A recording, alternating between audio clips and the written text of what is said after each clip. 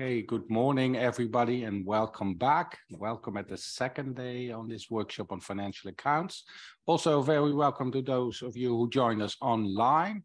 Uh, well, today we have the second day of our workshop, and that will be devoted to, well, data sources and organization. Uh, like yesterday, I hope we will have a lively discussion with lots of questions. So we certainly designed the course to trigger that, but also please use the opportunity to ask all the questions you uh, want. Uh, for this morning, we'll kick off with Tihomira, who will present the results of the uh, country survey which has been sent out to you and which you reply to. So she will give a short summary. Tihomira.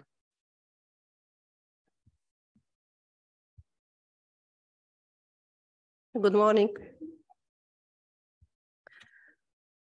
While waiting for the presentation, just to say it's um, we sent you a short uh, survey. Uh, as I said, we didn't know anything. It's the first time we organize uh, uh event on financial accounts. So we didn't know much about what you do, where you stand with financial accounts. So that was the main purpose of this survey, just to orient ourselves where you are in the compilation. And also, where should I point the clicker?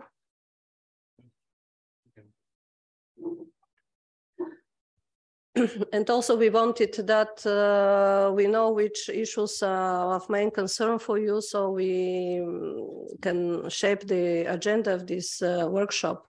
So in no way this is some in-depth um, overview of um, what you are doing or insights of uh, the methodological issues. It just, uh, the purpose is to inform you who does what in that room. So maybe you already discovered in the coffee breaks.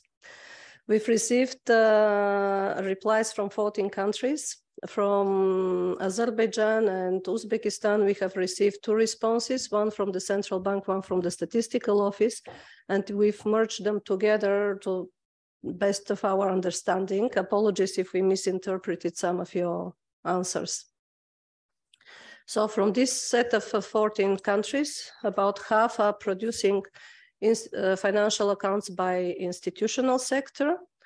The financial accounts are already in place and they're regularly produced in Kazakhstan, North Macedonia, Turkey, and Ukraine. And experimental estimates have been implemented in Armenia, Kosovo, and Moldova. Moldova are still at early stages, and Kosovo is producing uh, for two institutional sectors only at that stage all of the countries that produce both experimental and regularly financial accounts do compile uh, financial flows. Uh, all except uh, Ukraine uh, compile financial balance sheets, and only Armenia, Kazakhstan, and Turkey compile other changes in assets account. Uh, responsibility also is split somehow in the countries. Uh, central bank is the main uh, institution uh, uh, responsible for the compilation and dissemination of uh, financial accounts in Moldova, no North Macedonia, Kosovo, and Turkey. And the National Statistical Office takes a lead role in that in the other three countries. Uh, there are also other institutions involved in the compilation process. In all of the countries, the Ministry of Finance is uh, part of the process. And this uh, depends uh, mainly on the setup of the countries. Uh, quite often, different supervisory institutions for the financial corporation sector for certain parts of the financial corporation sector were mentioned like uh, regulators of the insurance company, etc. Also the securities registries depository and the stock exchanges. In quite few countries, I think only one or two tax uh, data was used, and also in Kazakhstan, social and health insurance funds data. However, nobody have provided uh, any details on the institutional arrangements. And on the other hand, the countries that don't have yet uh, financial accounts were interested in the arrangements, memorandums of understanding of those who already have. So maybe this is something we could consider as an outcome of the workshop. We've already posted online the memorandum of understanding that is um, in Netherlands if you have any documents like that in English or in Russian that other countries can use, uh, you could send to us links and we could post them. So we create some on the workshop website, some kind of reference site for others who are still in early stages. Uh, the data sources, I think these are the standard data sources. Uh, Manuel will go later through, through those. I won't go into details or spend time on that. Uh, the main challenges which were linked with the availability of data sources a, a, typical problem is the lack of uh, direct data sources for the household sector. And of course, there are gaps in many of the countries for the non-financial corporation sector when it comes to those positions that are not covered by the banking uh, statistics. As uh, John already talked yesterday, the um, assets and liabilities within the non-financial corporations uh, lacking uh, information. And even more so, that is obvious on quarterly uh, data for the countries who compile quarterly balance sheet. Uh, the intercompany loans and trade credits are the, the weak point. Then uh, several countries said that they have limited uh, uh, data sources, direct data sources on the financial flows. And then the flows uh, have to be derived from balance sheets, but then in the lack of uh, suitable data on revaluation or other changes in the volume assets account, uh, this, this is not uh, easy. About uh, challenges with valuation and recording of different financial instruments, most often the market valuation was um, a problem for listed shares because obviously in many countries there is underdeveloped capital market. Uh, there were also issues with valuation of debt securities. As far as understood, this is more linked to issues with the access to uh, data, data sources and the databases on securities. And the common problem of unlisted equity, how to value unlisted equity. Uh, then in two country governments, the finance statistics was mainly in cash basis, and that was posing questions for valuation and again, estimation of trade credits and intercompany loans for non-financial corporations on quarterly basis. Uh, the other issue was uh, that was mentioned was about the correct allocation of certain financial instruments. Uh, for example, would it be time deposit or other deposits? Uh, how consistency of the accounts, uh, financial and non-financial accounts is ensured. Uh, among the good practices that were mentioned is the, the main the main thing you could do is this is the cooperation this is the main prerequisite for ensuring good quality and consistent accounts uh, the importance of the central bank and the NSO and the good relations uh, between them was uh, mentioned in almost all replies of the countries who responded, of the seven countries who compile accounts. Then um, things that were mentioned were also things that came from the discussion yesterday, clear distribution of responsibility, the data collection, John Savrais. Uh, like good practice, what was mentioned was also the development of um, a register or list of units by institutional sector. So the same list of units is applied across the different data sources and statistics that are compiled by the bank and the statistical office. And uh, of course, all this uh, should be uh, supported by formal working groups and formal arrangements uh, with specifying the responsibilities of all involved institutions. Other way of ensuring consistency was uh, looking at counterpart information of counterpart sectors for the respective uh, instrument and then also what was highlighted, you need clear instructions to the respondents who fill in the surveys and legal frameworks that support the data collection. Uh, Turkey, uh, we will hear later from Turkey. They just express interest to uh, present their successful experience, and it's also based on this prerequisite we talked before. The countries that don't compile uh, financial sector financial accounts by institutional sector yet, uh, as well seven, but I should say that uh, many of them do compile the, the financial part of the balance of payments for the rest of the world account. All these seven countries have intention to start the compilation of financial accounts in the future. And in five of them, this has already been foreseen in the national strategies for um, statistics development or any annual uh, work plans. Uh, in Turkmenistan, this process is also being formalized. Uh, based on the plans countries have uh, in uh, uh Bosnia, Herzegovina, Kyrgyzstan, and Montenegro, the plans are that the central bank will be the main responsible institution, and in the other four countries, it is expected that this is shared responsibility between the bank and the statistical office. The main factors that have impeded the compilation of financial accounts up to now, it's uh, usually what we meet with any production of statistics, but maybe here they even sharpen stronger the human resources, the retaining of trained staff, uh, the, their access to data sources, different gaps and inconsistency or data sources not in the right format.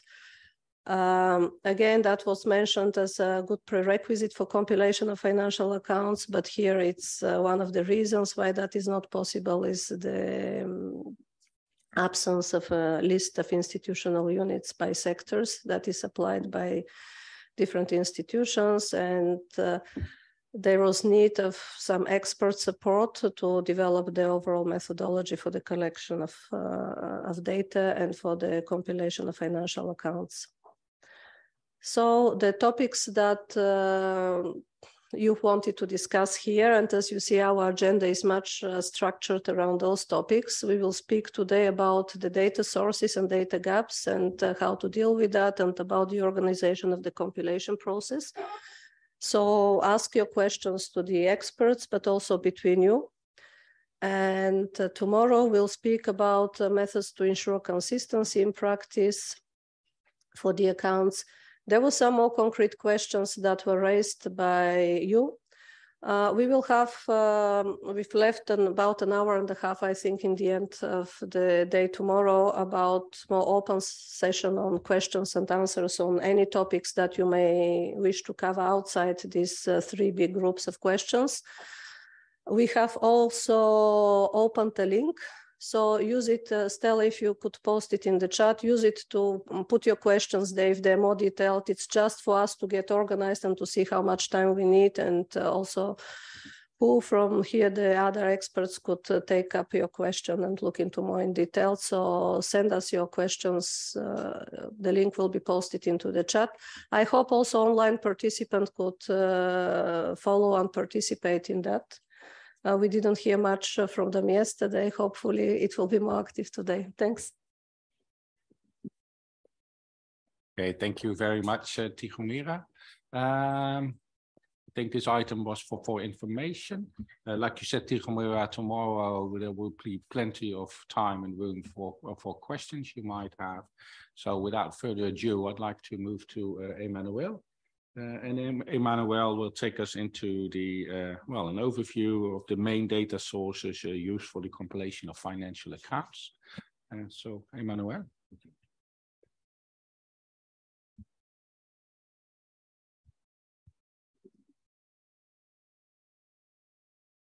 So good morning, everyone.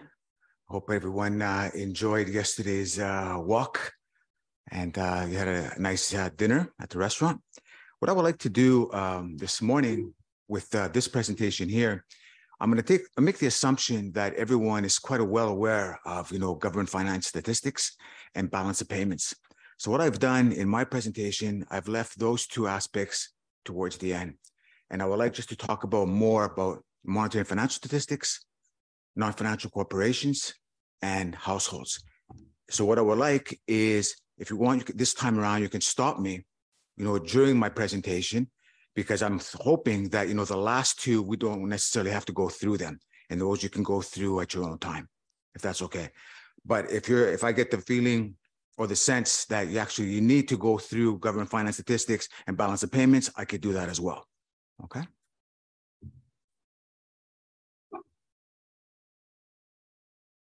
So in terms of uh, the outline, so we could, and one thing I forgot to mention so when we want to talk about, you know, monetary and financial statistics and government finance statistics and the balance of payments, they're from the perspective of those manuals. Okay, so they're not from the perspective of the national accounts, but they're but they're from the perspective of those manuals. And the reason why um, I took that approach is because again, um, I made the assumption that you're going to be takers of that information. Okay, so you're going to have to know how to make certain adjustments once you receive that data. All right. So the outline, I'll just basically go through the various data stores, sources, starting from MFS, non-financial corporations, households, and NPISH, you know, government and public sector statistics, rest of the world, and like I said, time permitting will be, you know, the last three, and then we'll also have security databases. Okay. Right. So when we look at um, the data sources from the monetary and financial statistics, what, what we've done here is we have them into, into basically three buckets, if you will. So the source data is usually, you know, micro data. You know, it's actual institutional units that report stock and flow data based on their accounting reports. Okay. And the compilation and presentation is based on institutional units, financial reporting, and accounting standards and practices. Now, when we look at, for example, the central bank, the central bank collects, you know, obviously information on itself. And in some countries, it also might collect information on behalf of, you know, the financial institutions that it regulates. Right? So it's only basically one source. And then, of course, we also have, you know, surveys for financial institutions. So when we look at the data from the perspective of, of the monetary financial statistics, I guess we can basically, what they've done is they, they basically group them into three major categories. Okay. So the, the first category is the central bank. You know, and here we're, we're, we're making the assumption that information should be easily and readily available from the central bank, right? It's one institutional unit. You know, it's basically the primary, you know, financial institution in, in the economies and you know it, and it, collects the information on behalf of the other financial institutions that it reports okay so the central bank is more or less self-contained then the second major bucket was the other depository corporations again here the reporting should again be accessible you know uh, to compilers and you know the data should be you know very timely and very robust again in most economies, the central bank has you know uh, legislation and regulation over the deposit taking uh, institutions. So the flow of information should be stra straightforward. Then the third bucket when it comes to monetary and financial statistics is what they call, for example, the other financial corporations. So as you know, in this, in this system of national accounts, we have eight financial sectors. So you can see now this group here, other financial corporations, A is quite diverse and it encompasses, you know, I would say much more difficult financial institutions than deposit taking institutions. Okay? And because of the diversity of other financial corporations, this it causes, you know, um, some problems, you know, for compilers. One, it's not true, not necessarily true that the central bank supervises, you know, these other financial corporations. Okay? And in most economies, they might not be as large as deposit taking corporations. However, th- the growth in some of these is very, very dramatic okay? and could cause systemic risks, you know, to the system if it's not properly, you know, uh, regulated or uh, covered in the statistics.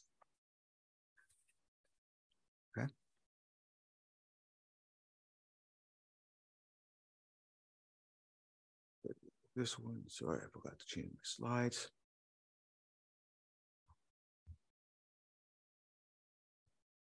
Okay. Hmm, so we have a little bit of differences in what I have. That's okay. So, um, so I was saying before, when it comes to other depository corporations, it includes a host of uh, financial uh, institutions. So here, for example, you're going to have to start thinking about how you're going to try to get information from them. Now, most, you know, inst institutional units in the economy are more or less you know, I would say there's some kind of regulation governing them.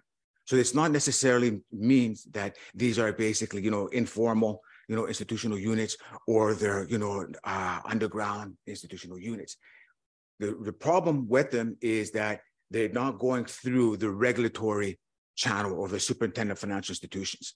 However, if they're publicly traded, there is going to be some kind of information for them. So we take, for example, you know, um, investment funds.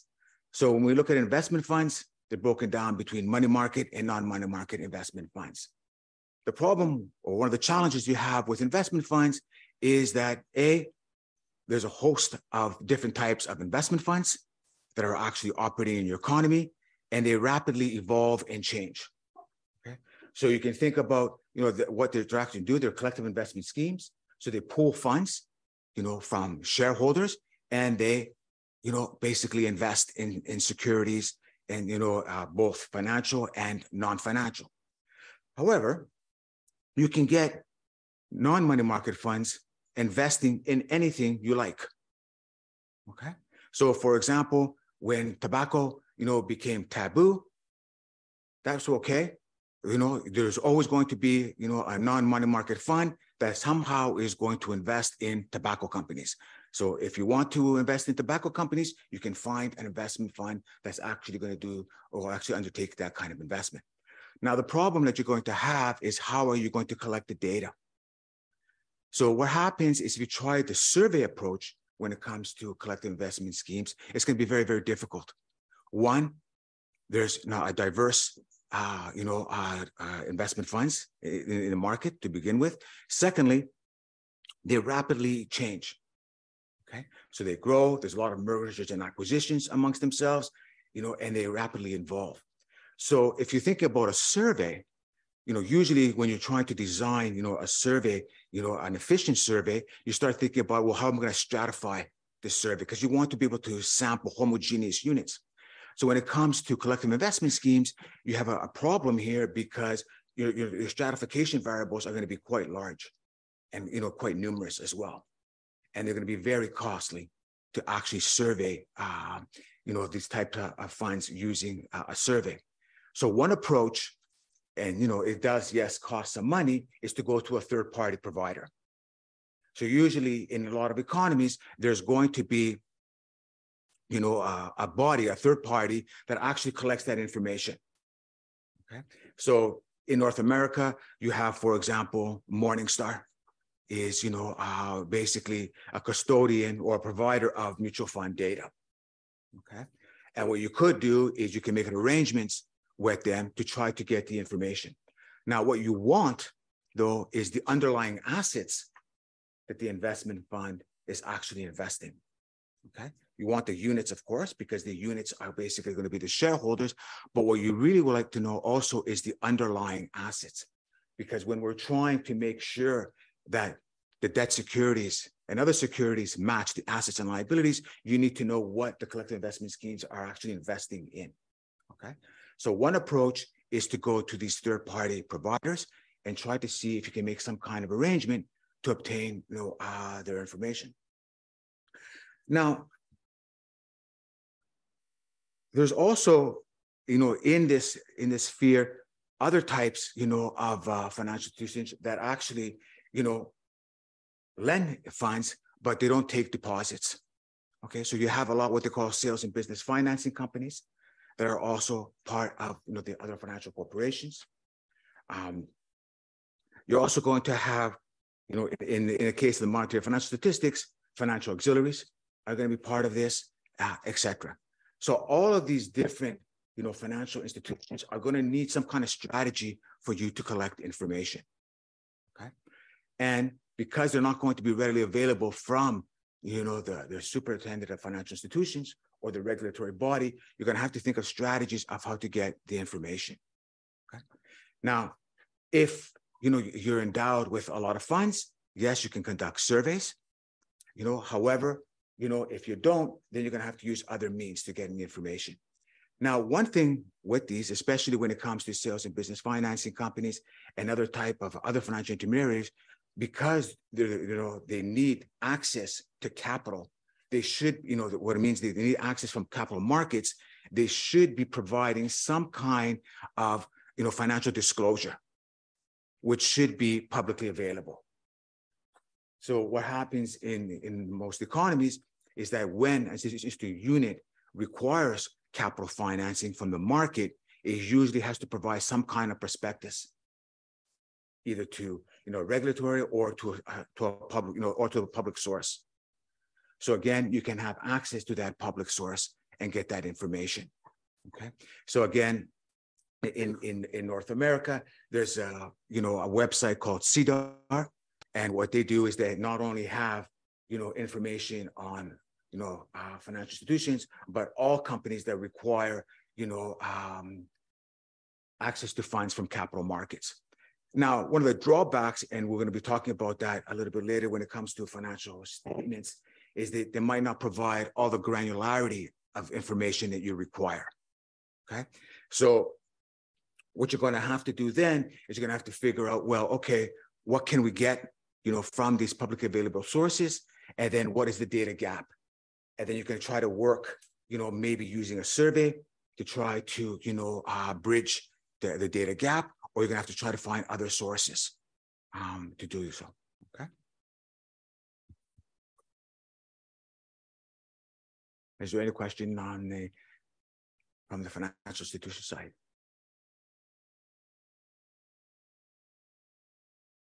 Okay. Now let's move to non-financial corporations. So we have a, you know, a, a, some, some other challenges when it comes to uh, non-financial corporations. And the, the problem with, we have that with non-financial corporations is because they're all come in different sizes. They come in different sizes and they actually conduct, you know, their activities, you know, in various industries so it makes it again because of this heterogeneity it's very very difficult to try to have one one homogeneous type of vehicle to try to you know collect and compile information on their behalf. You know there are uh, you know some primary data sources. So here we're saying that yes you know you can try to you know establish an enterprise survey okay? Uh, there's also administrative data such as you know taxation data. And here we're talking about corporate information tax uh, information that could be available to you. Again, there's also going to be some publicly available corporate financial statements, as I just mentioned before. If the non-financial corporation needs, you know, uh, capital from capital markets, it has to provide some kind, you know, of a paper trail, you know, in order to get uh, that kind of financing. Of course, there's counterpart data, right, uh, that you can try to to look. And there's also, you know, depending on the the activity, there's also associations that you can look at. So for example, you know, in when it comes in manufacturing, you know, activities, there could be, you know, associations like the steel, you know, um, manufacturing association or the aeronautics, you know, association, etc. Now, these associations are going to be able to provide you, you know, information just for that activity. Okay, they won't be able to be branched out. So the key when it comes to non-financial corporations is to have a, you know, a business register. And when we talk about a business register, I'm not talking about a business listing. Okay. A business listing, all it is, is just basically names, you know, of companies. That's not a business register. A business register is actually going to show the births and deaths, you know, of institutional units, right? It's also going to have characteristic information that you could use, size, either total assets, total revenue, you know, uh, total operating profits. Um, it, it's also going to tell you, you know, the activity, you know, uh, that it's uh, involved in, the number of employees, etc. Very good ca- characteristic information that you need.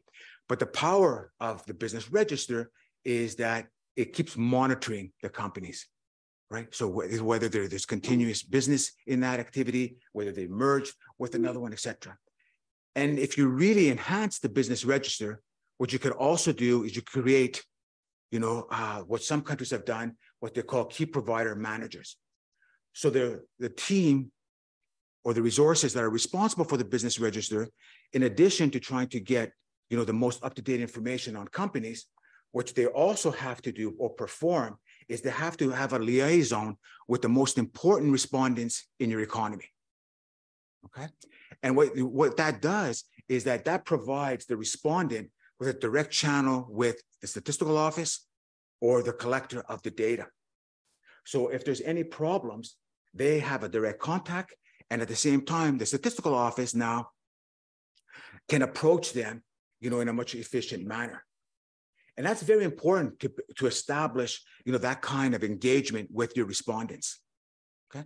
And the reason for that is that, let's say, for example, yes, you're collecting non-financial data from them, but let's say you start thinking about, well, okay, let's say we want to do, you know, some kind of environmental statistics. If you have a good relation with the respondent, you can easily pick up the phone and, you know, contact the person that you know and say, look, we're trying to do this. Do you have any information that you can share with us? Or what do you think about this? So it's a way of trying to collect information without going through the formal process. Okay. So when we're talking about business register, again, it's much more than just, you know, a register, you know, of births and deaths, but it's also to be able to you know, create a liaison, you know, with, uh, with your respondents and build good relations with them. And at the same time, you know, in the economy, because, you know, these companies here, they, they go through, you know, um, cycles, there's problems with them.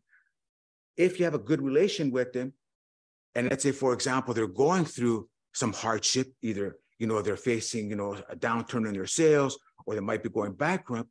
If you have a good relation, you can pick up the phone and contact them and say, yes, normally we request, you know, 50 variables from you. We know you're having a hard time. Can you provide us with whatever the key variables are. Okay. Now, of course, this takes some time, some effort to establish that kind of relationship, but it's well worth it.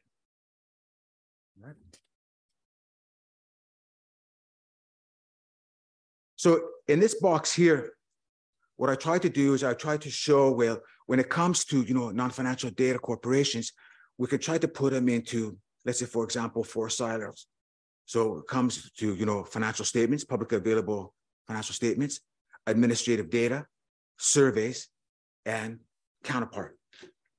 And then basically on the rows, we're saying, well, okay, what would be the frequency, the timeless, detail, consolidation, and coverage?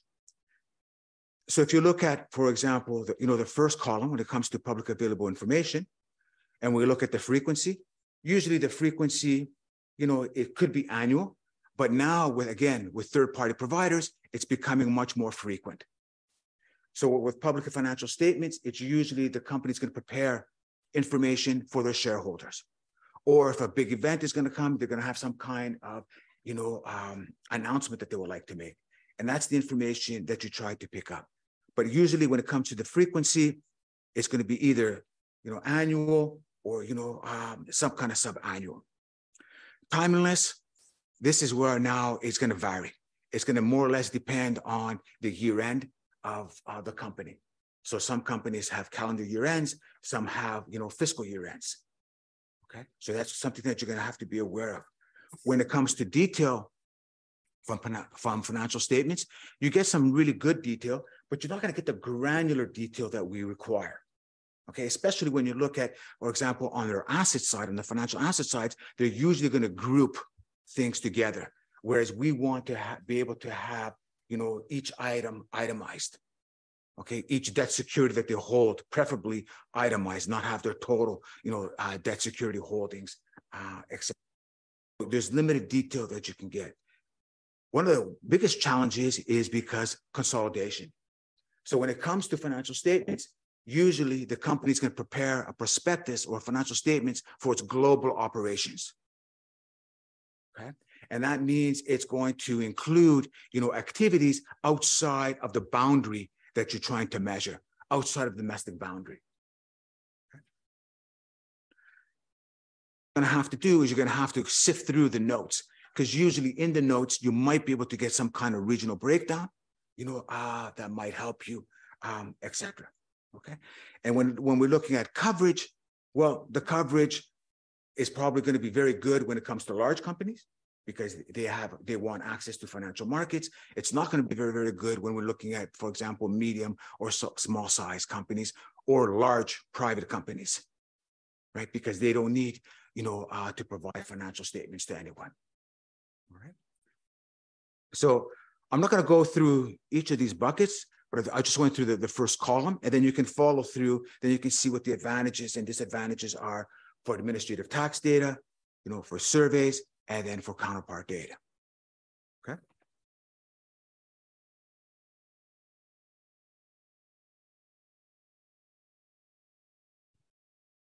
But I'd like to say a couple more words though when it comes to you know surveys, you know, of non-financial corporations. If you're able to you know uh, build you know enterprise uh, surveys for them, you know, um, so basically you know the typical source that you're going to be able to get is what we call the income statement, right, and of course the balance sheets.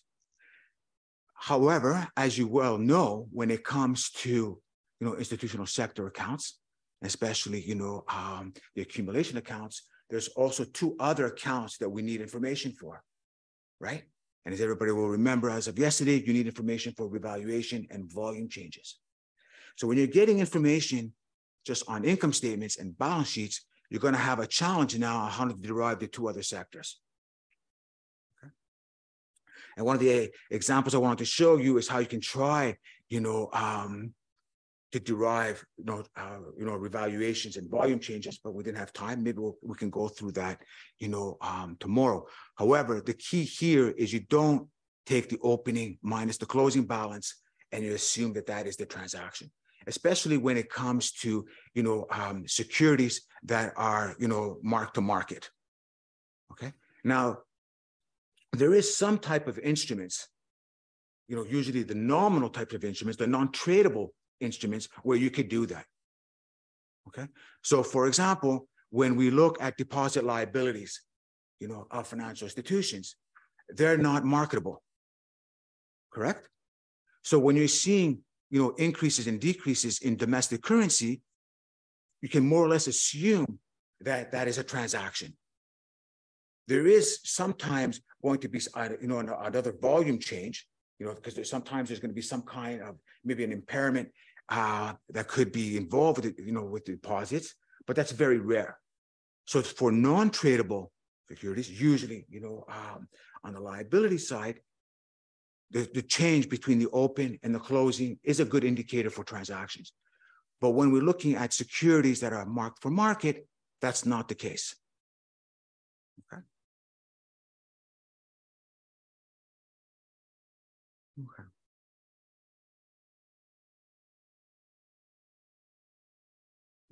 Delay.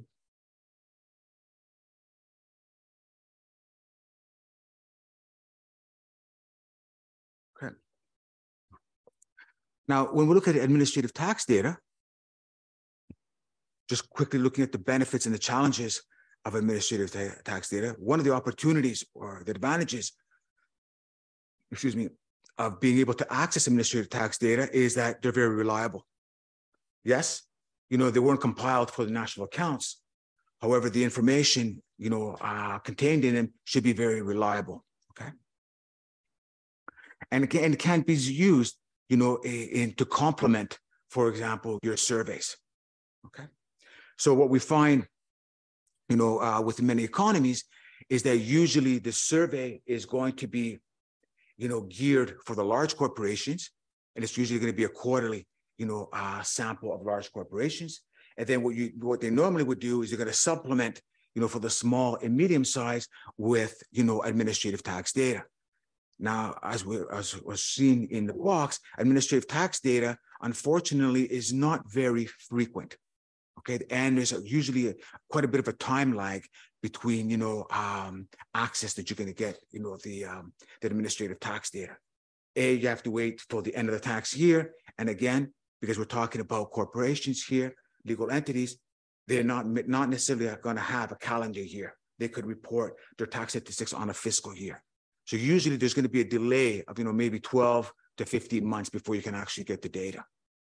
But, you know, at least, you know, you don't have to spend a lot of money when it comes to small and medium uh, type uh, businesses. So you can use this source. Okay. And of course, you know, when we look at you know, this type of source, it provides you with a good level. Okay. So if you're able to access all the administrative tax data, that should give you a very, very good, you know, estimate for the formal economy. Okay. One of the drawbacks, as you all will know, is that, you know, uh, companies do not necessarily have to report all their balance sheet items, right? So depending on, you know, um, the, you know, the, the tax authority, they're going to have different rules and they're going to have different schedules. So then it's going to be up to the compiler to be able to negotiate either to get all that information, but even if you do get all the information, you know, in most cases, you're not going to get all the detail that the company has, okay?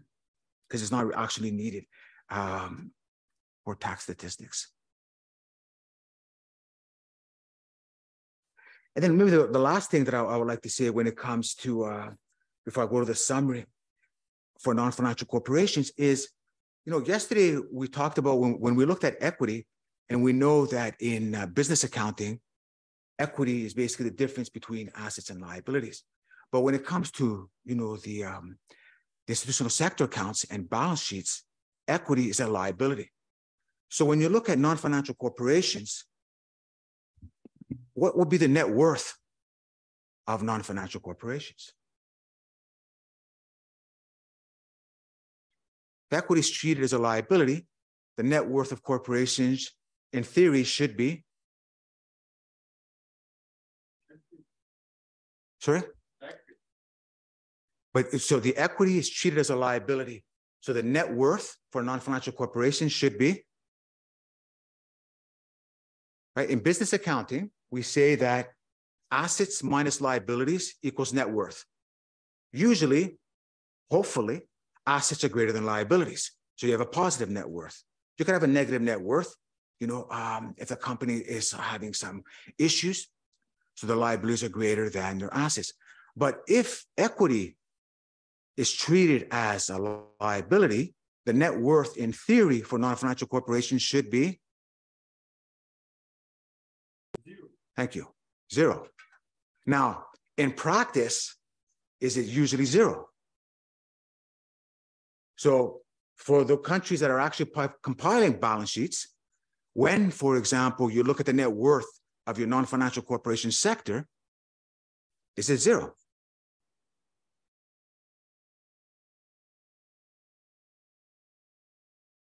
Does anyone want to volunteer?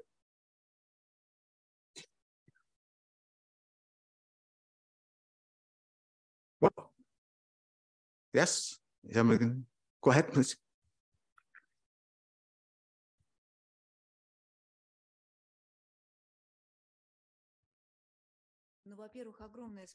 First of, first of all, thank you very much because this is a wonderful presentation and a wonderful approach that we could implement from the standpoint of explaining the sources of data.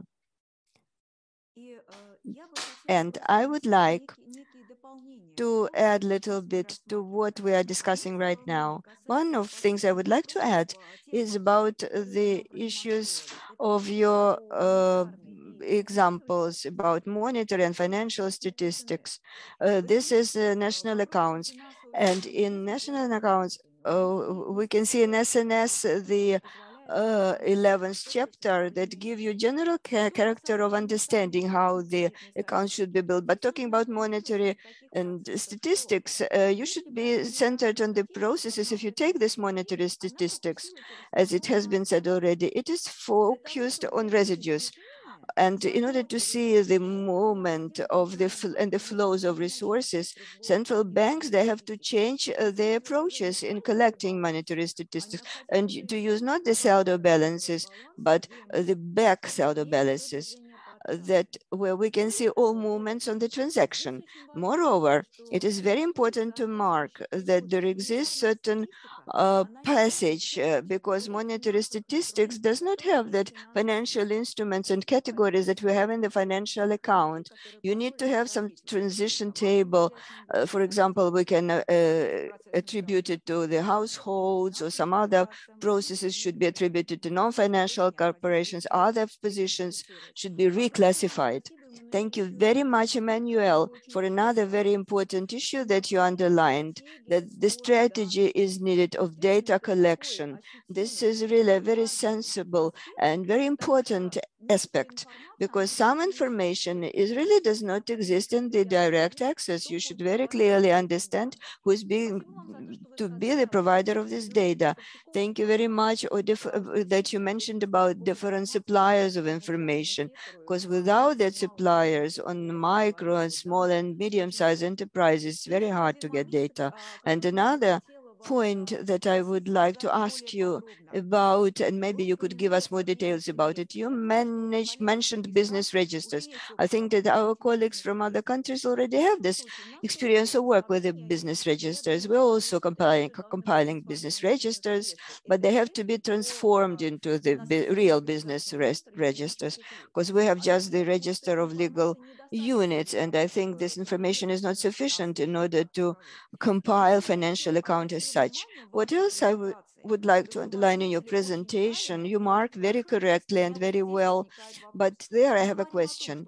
We talk that when we assess uh, non-financial corporations or when we do the, the, survey of them, we have to understand the changes in volume or re reassessment. Uh, how should we systematize the balance of all that non-financial corporation because they belong to different sectors of the economy? Can you please give us more details about it? That would be very useful for us. But in general, thank you very much for such a wonderful presentation.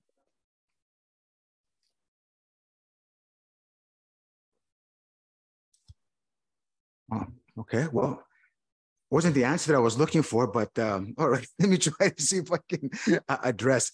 First, the one thing I, was going to say, um, um, when it comes to the, the, business register, one of the things that it's very, very important when you actually undertake, uh, you know, to a development of a business register, is the business register should also be able to give you, you know, um, the structure, you know, of um, of the enterprise.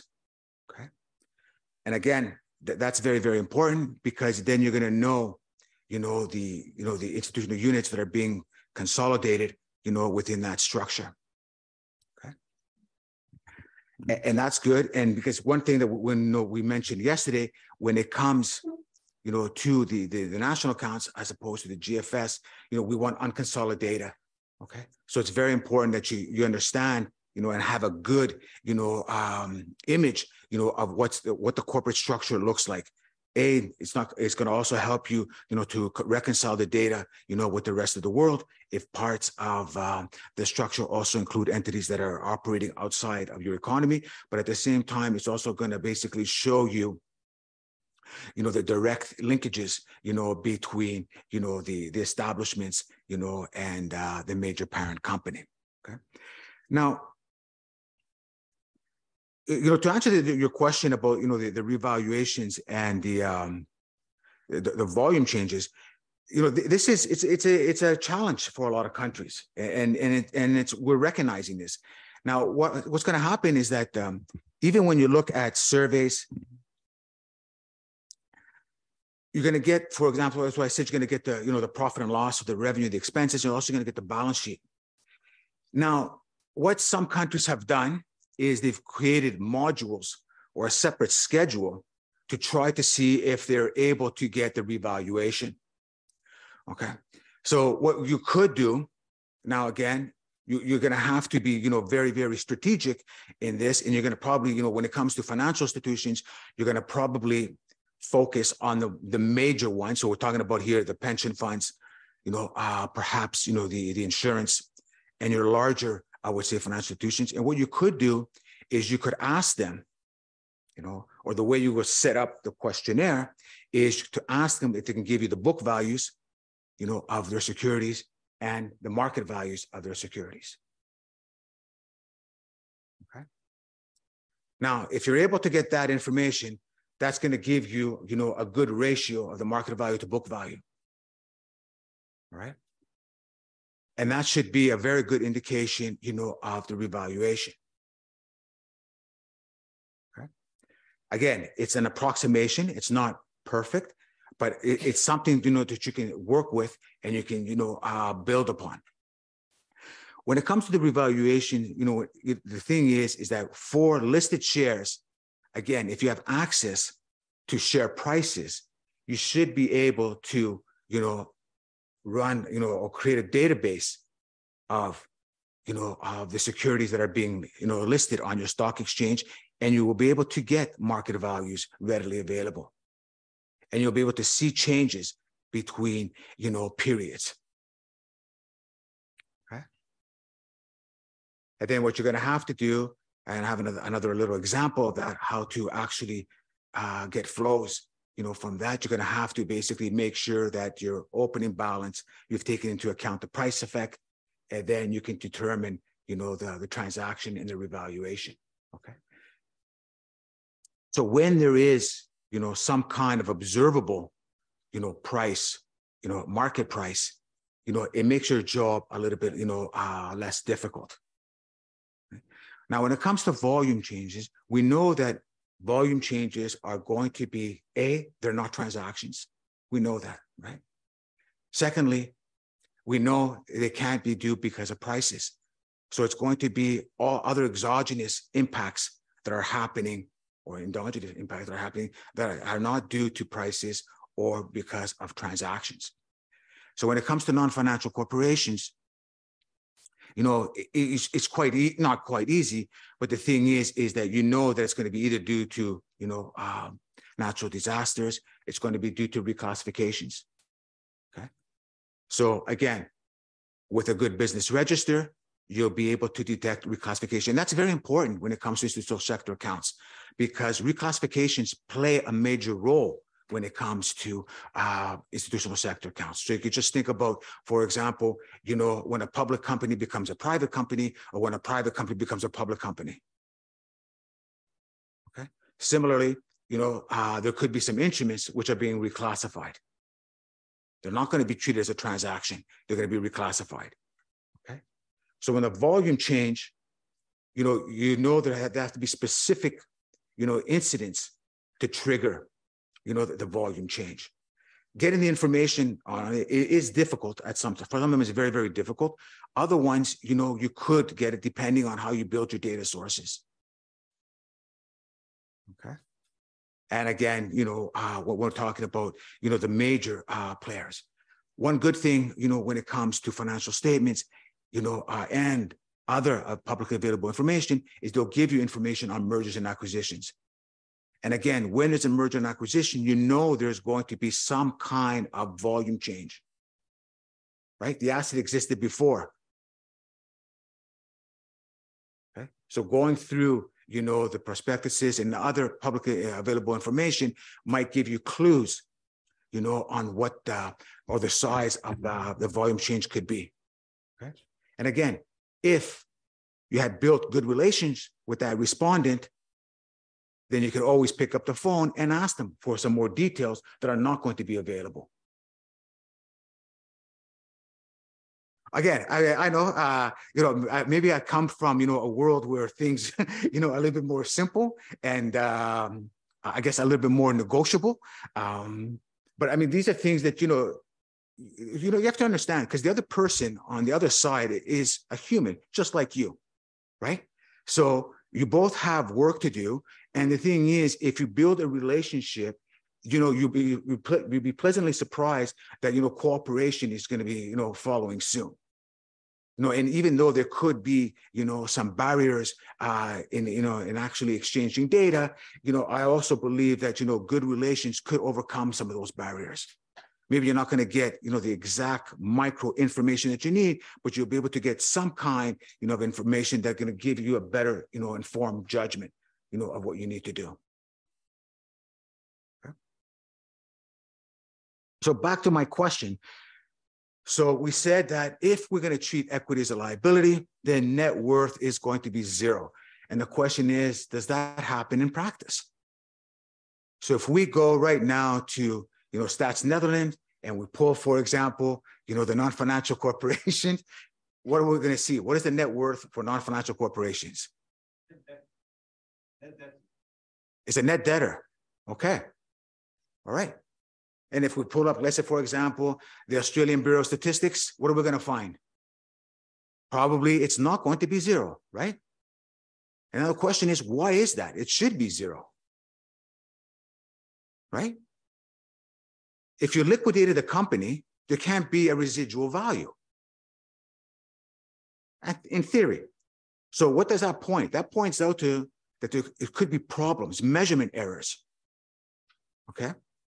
One of the measurement errors that you could have is that on the liability side, shareholders, for example, or investors, when they want to make a purchase, when they want to invest in a company, they're going to take into account certain things that we might have challenges in measuring.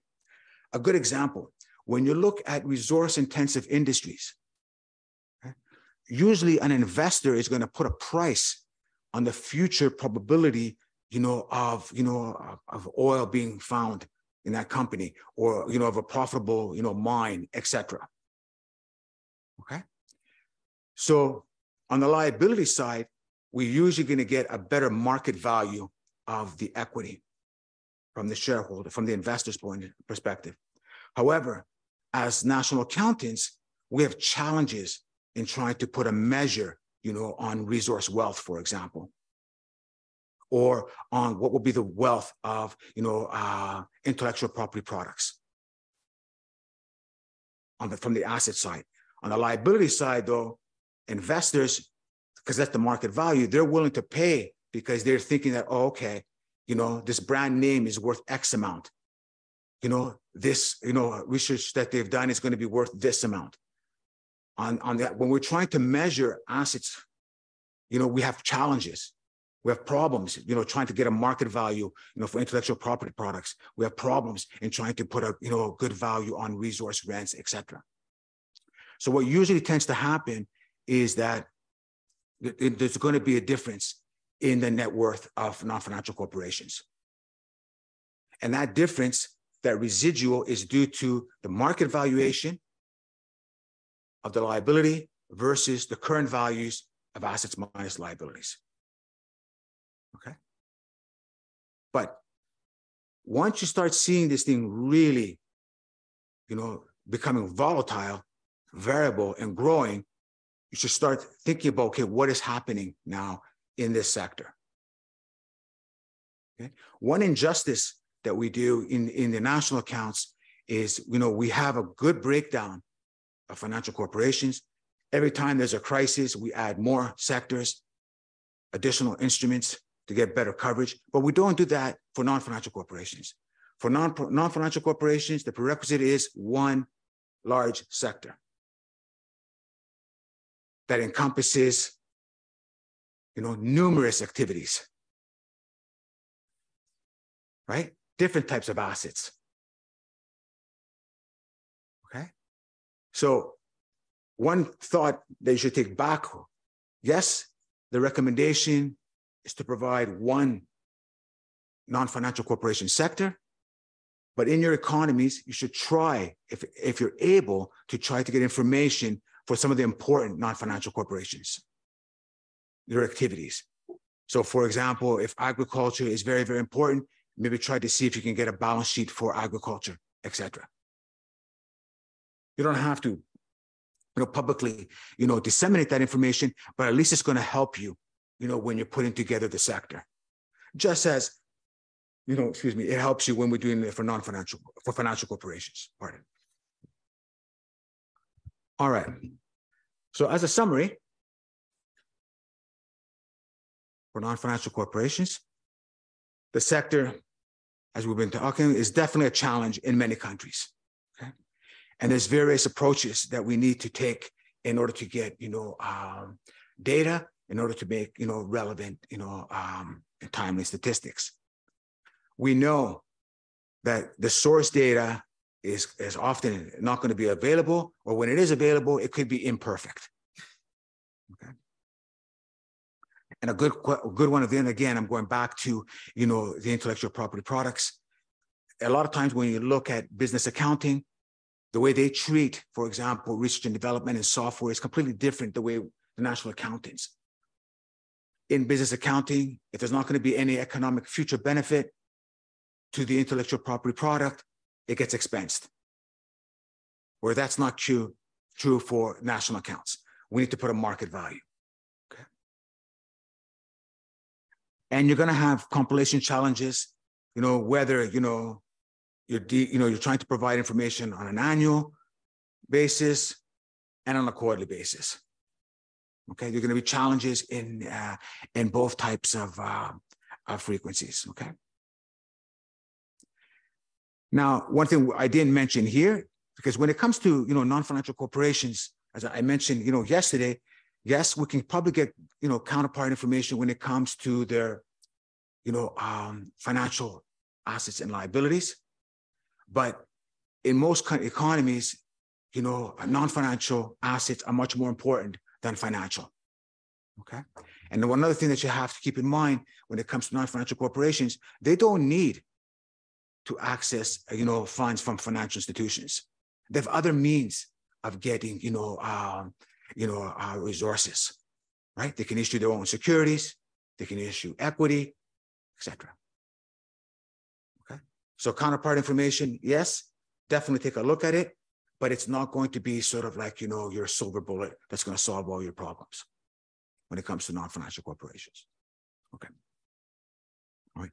Sorry, sorry. How am I doing in time? 10 minutes. Yikes. Oh, well, so my assumption was right. Either I'm rambling on or my, uh, my assumption was correct.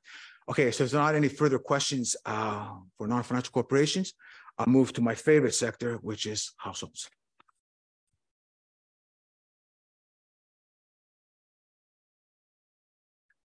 Now, households,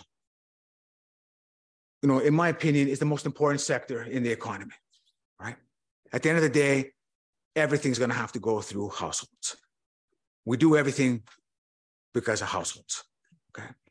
And it's the most exciting uh, sector in my mind. Maybe not for my colleagues, but for me, definitely. I'm not quite sure where we have all this uh, stuff in there. Is that me? I'm not sure if it's you or but that's okay. It's okay. I, it's fine. So just like non-financial corporations, households, you know, pose a challenge in many, many countries. Okay. So yes, you know, not, not even the, you know, when we're talking about institutional sector accounts, we have problems even when it comes to you know household final consumption expenditure. Okay. And we have equally uh, problems or challenges when it comes to institution, you know, the, the accumulation accounts uh, for households, especially when it comes to balance sheets. Now, so the way we tackle households, you know, um, we could do it in a couple of ways. Some countries have surveys.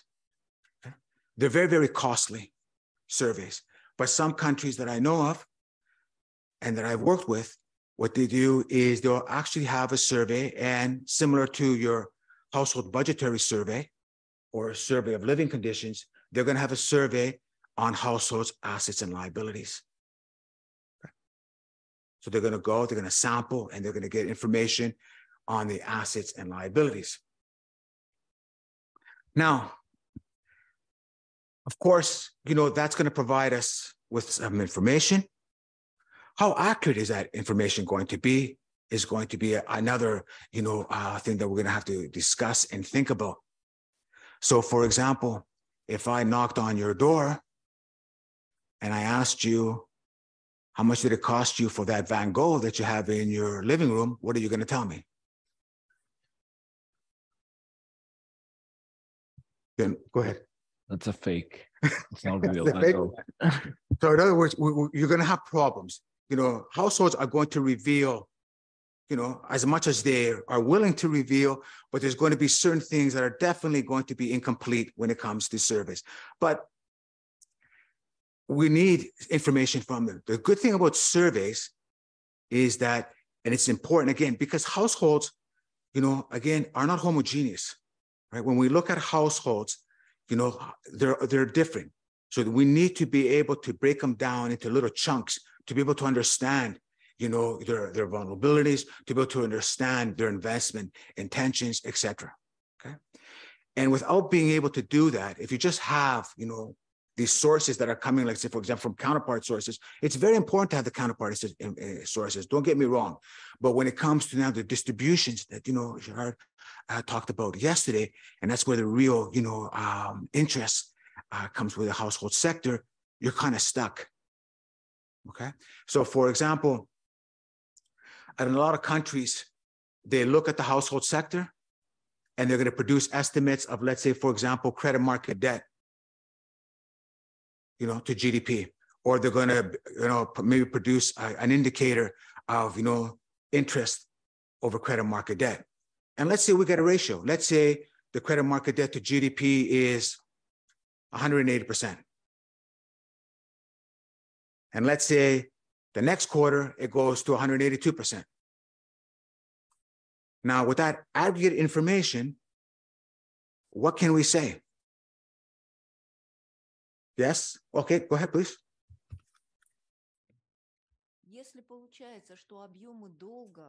If the volume of debt is higher than the volume of GDP, then we have the situation that if this is in domestic market, if we discuss the domestic lending, then the country is huge borrower and it collected the resources from the domestic market. If it also attracts uh, external suppliers of resources, then we can say that the country has high debt loads, debt burden from the external creditors. If we have 180% uh, of uh, a loan to GDP share. Yeah. So you're absolutely right. On an aggregate basis, we can make, you know, all those statements. However, if I want to ask you, well, are the rich people getting richer? Are they getting more in debt? What's happening to the middle class? We don't know. So the problem with an aggregate number is that yes, we can make certain statements, but we can't really, you know, dissect and actually start analyzing what is happening, you know, in the economy to low income households, middle income households, retirees, etc. So just imagine, you know, if you had that information during COVID, you know, the analysis that you'll be able to do. So yes, when it comes to this sector, we have big challenges. Aggregate information is available from counterparty information for sure. So when we look at, let's say, for example, the key assets, key financial assets of households, their deposits, you can get good information from deposit taking institutions because usually deposit taking institutions have to, you know, uh, decompose their liabilities by institutional sector. Okay. One thing I forgot to mention when you're looking at that data, though, and especially when we're talking about non-financial corporations, I forgot to mention that you got to be careful because financial institutions don't have the same sector as national accountants. Okay? So sometimes there are going to be problems between non-financial corporations and governments. So for example, a state-owned company, right? A financial institution is going to basically code it as what? Government or as non-financial corporation? So you got to be there's there's going to be differences in the activities that you know financial institutions are going to be classifying versus what we need, you know, as national accountants. One way that you can overcome that is hopefully if you have a business register, you can give them, you know, the metadata and say, well, this is what we want, you know, in these buckets, and that might help. But now let's go back to the household sector. So on the asset side, when we look at their currency and bank deposits, on an aggregate level, we're going to get good information. Similarly, when it comes to their pensions, especially if they're defined benefit pensions, and if you have a regular or a superintendent of, you know, insurance and pensions, you'll probably be able to get good information on the assets of pensions for households, right? And the way we treat, you know, pensions in the national accounts, in the institute sector accounts, we know that the, you know the net worth is going to go back to the household sector as their assets. Okay. Similarly, when it comes to collective investment schemes, investment funds, the majority of investment funds are actually purchased by households. So in most economies that you know uh, I've seen data for, I would say you know there's a very very large majority of you know um, investment funds are held by households. So you can make the assumption when you're putting together the, you know, the mutual funds that most of those assets belong to the household sector. Okay. Then On the liability side, of course, households need financing. So they usually go to financial institutions. They are like banks or deposit taking institutions. And there we're going to get good information from them. However, households can also borrow from family members. Right? It's not uncommon for a parent to lend money to his child to buy a home, to pay for the university, etc. There, you're going to have a, little bit of a challenge. How are you going to get that information? Is it going to be significant? No. Should we worry about it? No. But it, anyways, it's a little bit of a data gap, but it's insignificant, which is fine. The big problem now is going to become with what are we going to do with real estate? Okay. And we know that, you know, in some economies, that's probably the most important asset for households. And it's an important asset, you know, generally, I think, for households. Okay. So the first thing that we're going to have to do now is that how we're going to get data for real estate or, you know, the stock, you know, of the residential housing and maybe if they have, you know, uh, you know, uh, dwellings for investment purposes. Okay. So here, again, you can try getting a survey. You can try looking at tax information because if a household rents, you know, a dwelling in some economies that's taxable, maybe there's going to be some kind of information, you know, on an administrative tax form that you can try to see, you know, the rental income, and then you can try to make some kind of assumptions what you think the stock is going to be. Or you can now try to look at other administrative data. It's not necessarily tax data, but it's other administrative data. So for example, if you have access to land registries, so usually, you know, uh, when a household is going to buy a home, there's going to be, you know, a land registry to transfer, you know, the ownership from one, you know, institutional unit uh, to the other. Or again, I'm not sure, you know, in all your economies, but in some, in some economies, there's going to be, you know, a municipal municipal tax roll. So usually municipalities or lower level of governments are basically, you know, responsible for you know sewage, waste, road maintenance, and usually it's homeowners that usually have to pay taxes, you know, uh, to finance you know these improvements, right? And usually those taxes are based on the value of the home. Okay, so if in your economy you can get some kind of an assessment of the value of the homes, then that will give you a good approximation for uh, um, the stock of dwellings. Failing all which, we don't have any of those. What are we going to do? Well, you know your counterparts above the line need to record gross fixed capital formation. It's a flow, right? And we have manuals that tell us how to transform these flows into stocks. Very data intensive. The perpetual inventory model is very, very data intensive. It requires, you know, a lot of price information, but there is sort of like, you know, um, a method to help you to transform flows into stocks, and you can try to put them into your balance sheet. Okay. What else? Um, now, but included in this sector, we also have you know, what you know I refer to as unincorporated businesses or self-employment. And they're going to pose another challenge when it comes, you know, um, to compiling information. A, they're not quasi corporations because they can't provide a full balance sheet of information. So we can't move them into the non-financial corporation sector.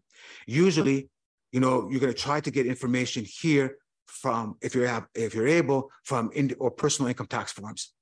Because with personal income tax forms, they have to report, hopefully they have to report their self-employment income. Maybe there's going to be, you know, some kind of balance sheet items. Maybe you'll be able to get liabilities for self-employed. Uh, maybe you're not going to get. The problem when it comes to, you know, these type of um, institutional units, it's extremely difficult to differentiate the person from the business. So that's why we put them together in, in the household sector and it's it's very very very difficult to try to get information you know to be able to split them some countries have tried doing that you know through like i said tax information how accurate that tax information is, it's very difficult. And I'll just give you a quick example. So for example, let's say, you know, um, I, I'm, a, I'm a consultant and, uh, you know, I work for myself and I have a little small office and I go to the bank and I get myself a credit card and I use that credit card for my business. And then I use my credit card for gas and I use my credit card for personal consumption. When I put together my tax statistics, and I, I want to show my expenses. How accurate do you think I'm going to remember that I used my credit card for my groceries or maybe for a dinner or for my supplies? Right? It's very difficult. Now, you, you know, obviously being, you know, self-employed, I'm going to try to overestimate my expenses. So of course, I'm going to include certain things that I shouldn't be including, etc. Okay. But it poses challenges. Sorry? I missed. So um The last thing I'm going to say when it comes to, um, and this we're going to talk a little bit more about this tomorrow, both when it comes to non-financial corporations and households. The other thing that we could do is we could look at now the sequence of accounts to try to help us, you know, um, to actually, you know, verify the estimates. So when we look at the vertical balancing, we're going to try to, you know, um, help know, either the, the financial accounts based because we're going to probably, you know, assume that what's coming from above the line is much more accurate and much more comprehensive than what we have in the financial accounts. Okay. So you can look at, you know, the, the vertical balancing that could help. And of course, there's also the horizontal balancing. With the horizontal balancing, you got to be a little bit careful because compilers do have a tendency to, I would say, to you know, residually treat the household sector which is not, you know, a good practice, but um, I've seen that done uh, as well. So I'm going to stop here. I know I only have a couple of minutes. Um, so I don't know if you have any additional questions for me. Um, but like I said, I'm not going to cover, you know, uh, the government and public sector statistics. I mean, there's a very, very good manual. You have uh, the GFS, you know, 2014 that you can look through. I put a couple of slides in there. Um, if you need more information, let me know and I can give you, you know, a full presentation that you can take with you on uh, the public sector and the similar, you know, when it comes to the balance of payments and international investment position. I think, you know, I'll have a good grasp, you know, of those data sources. But if you do need, you know, um, some additional information, let me know and I can definitely send you uh, those presentations. Right. So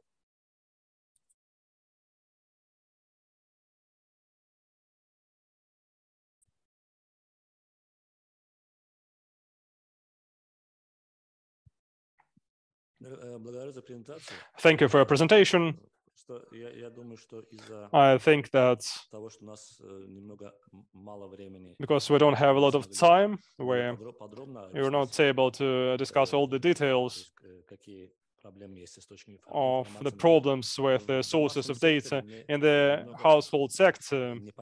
It's not clear for me, given that we don't compile financial accounts. To evaluate, uh, to grasp, this is quite difficult. What, what are the difficulties related to households? You mentioned buying real estate. What are the challenges for financial accounts related to real estate transactions of households? Can you go into details on this one?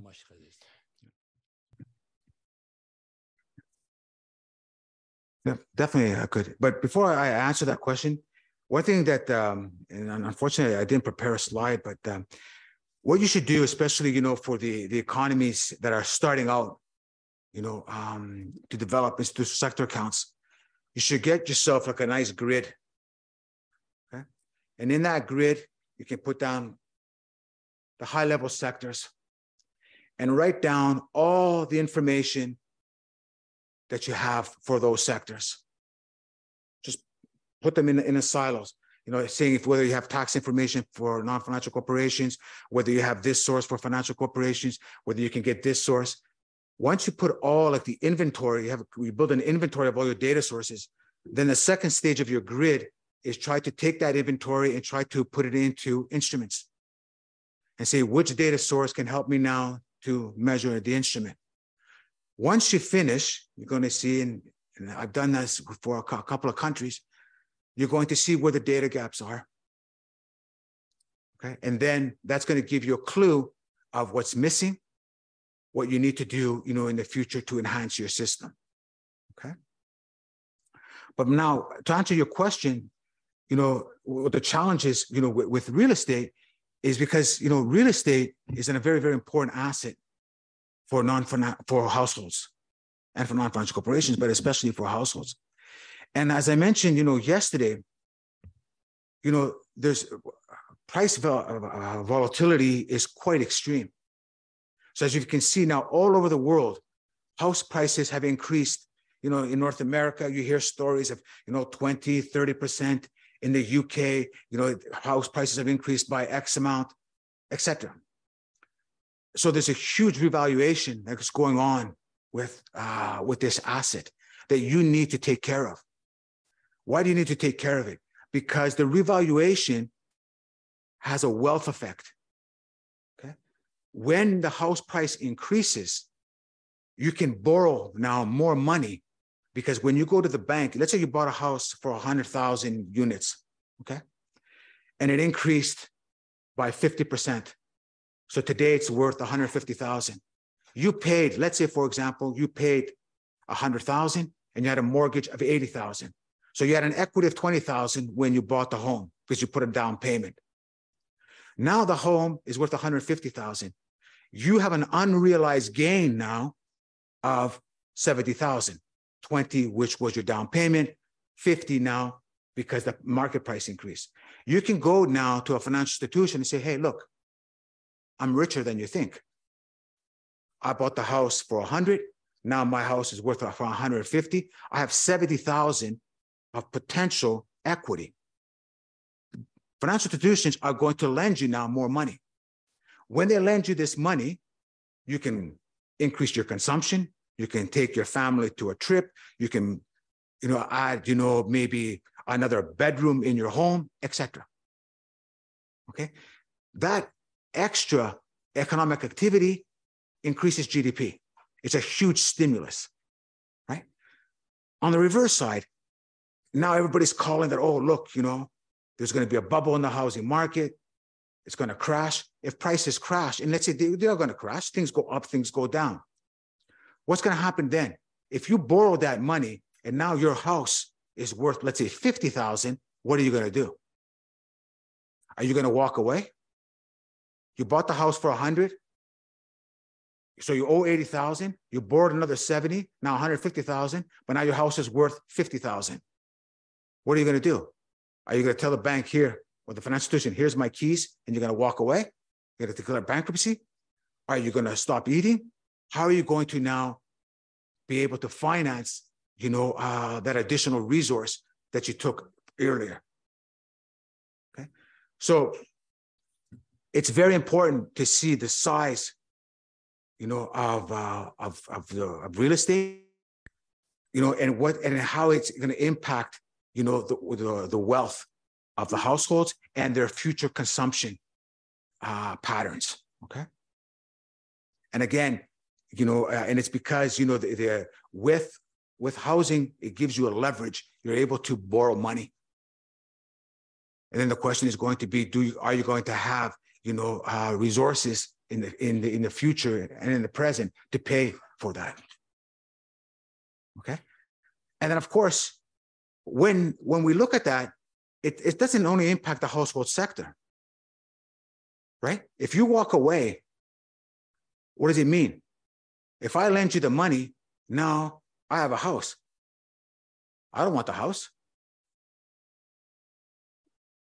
So there's going to be systemic risk now to the financial institution. Okay. So you can see there's, there's going to be a domino effect. Okay. So that's why it's very, very important. You know, when we look at, you know, the, especially the, the institutional sector accounts, they provide us information that you're not going to find in GDP. GDP is important. It tells us certain things about, you know, the, the strength of the economy. When we look at the sector accounts, it gives us other, you know, clues of what could be going on, the behavior, you know, of the institutional units, you know, their vulnerabilities. You know, when we look at the household sector, and especially when we look at their assets, we have to always ask ourselves, do they have sufficient savings for the future?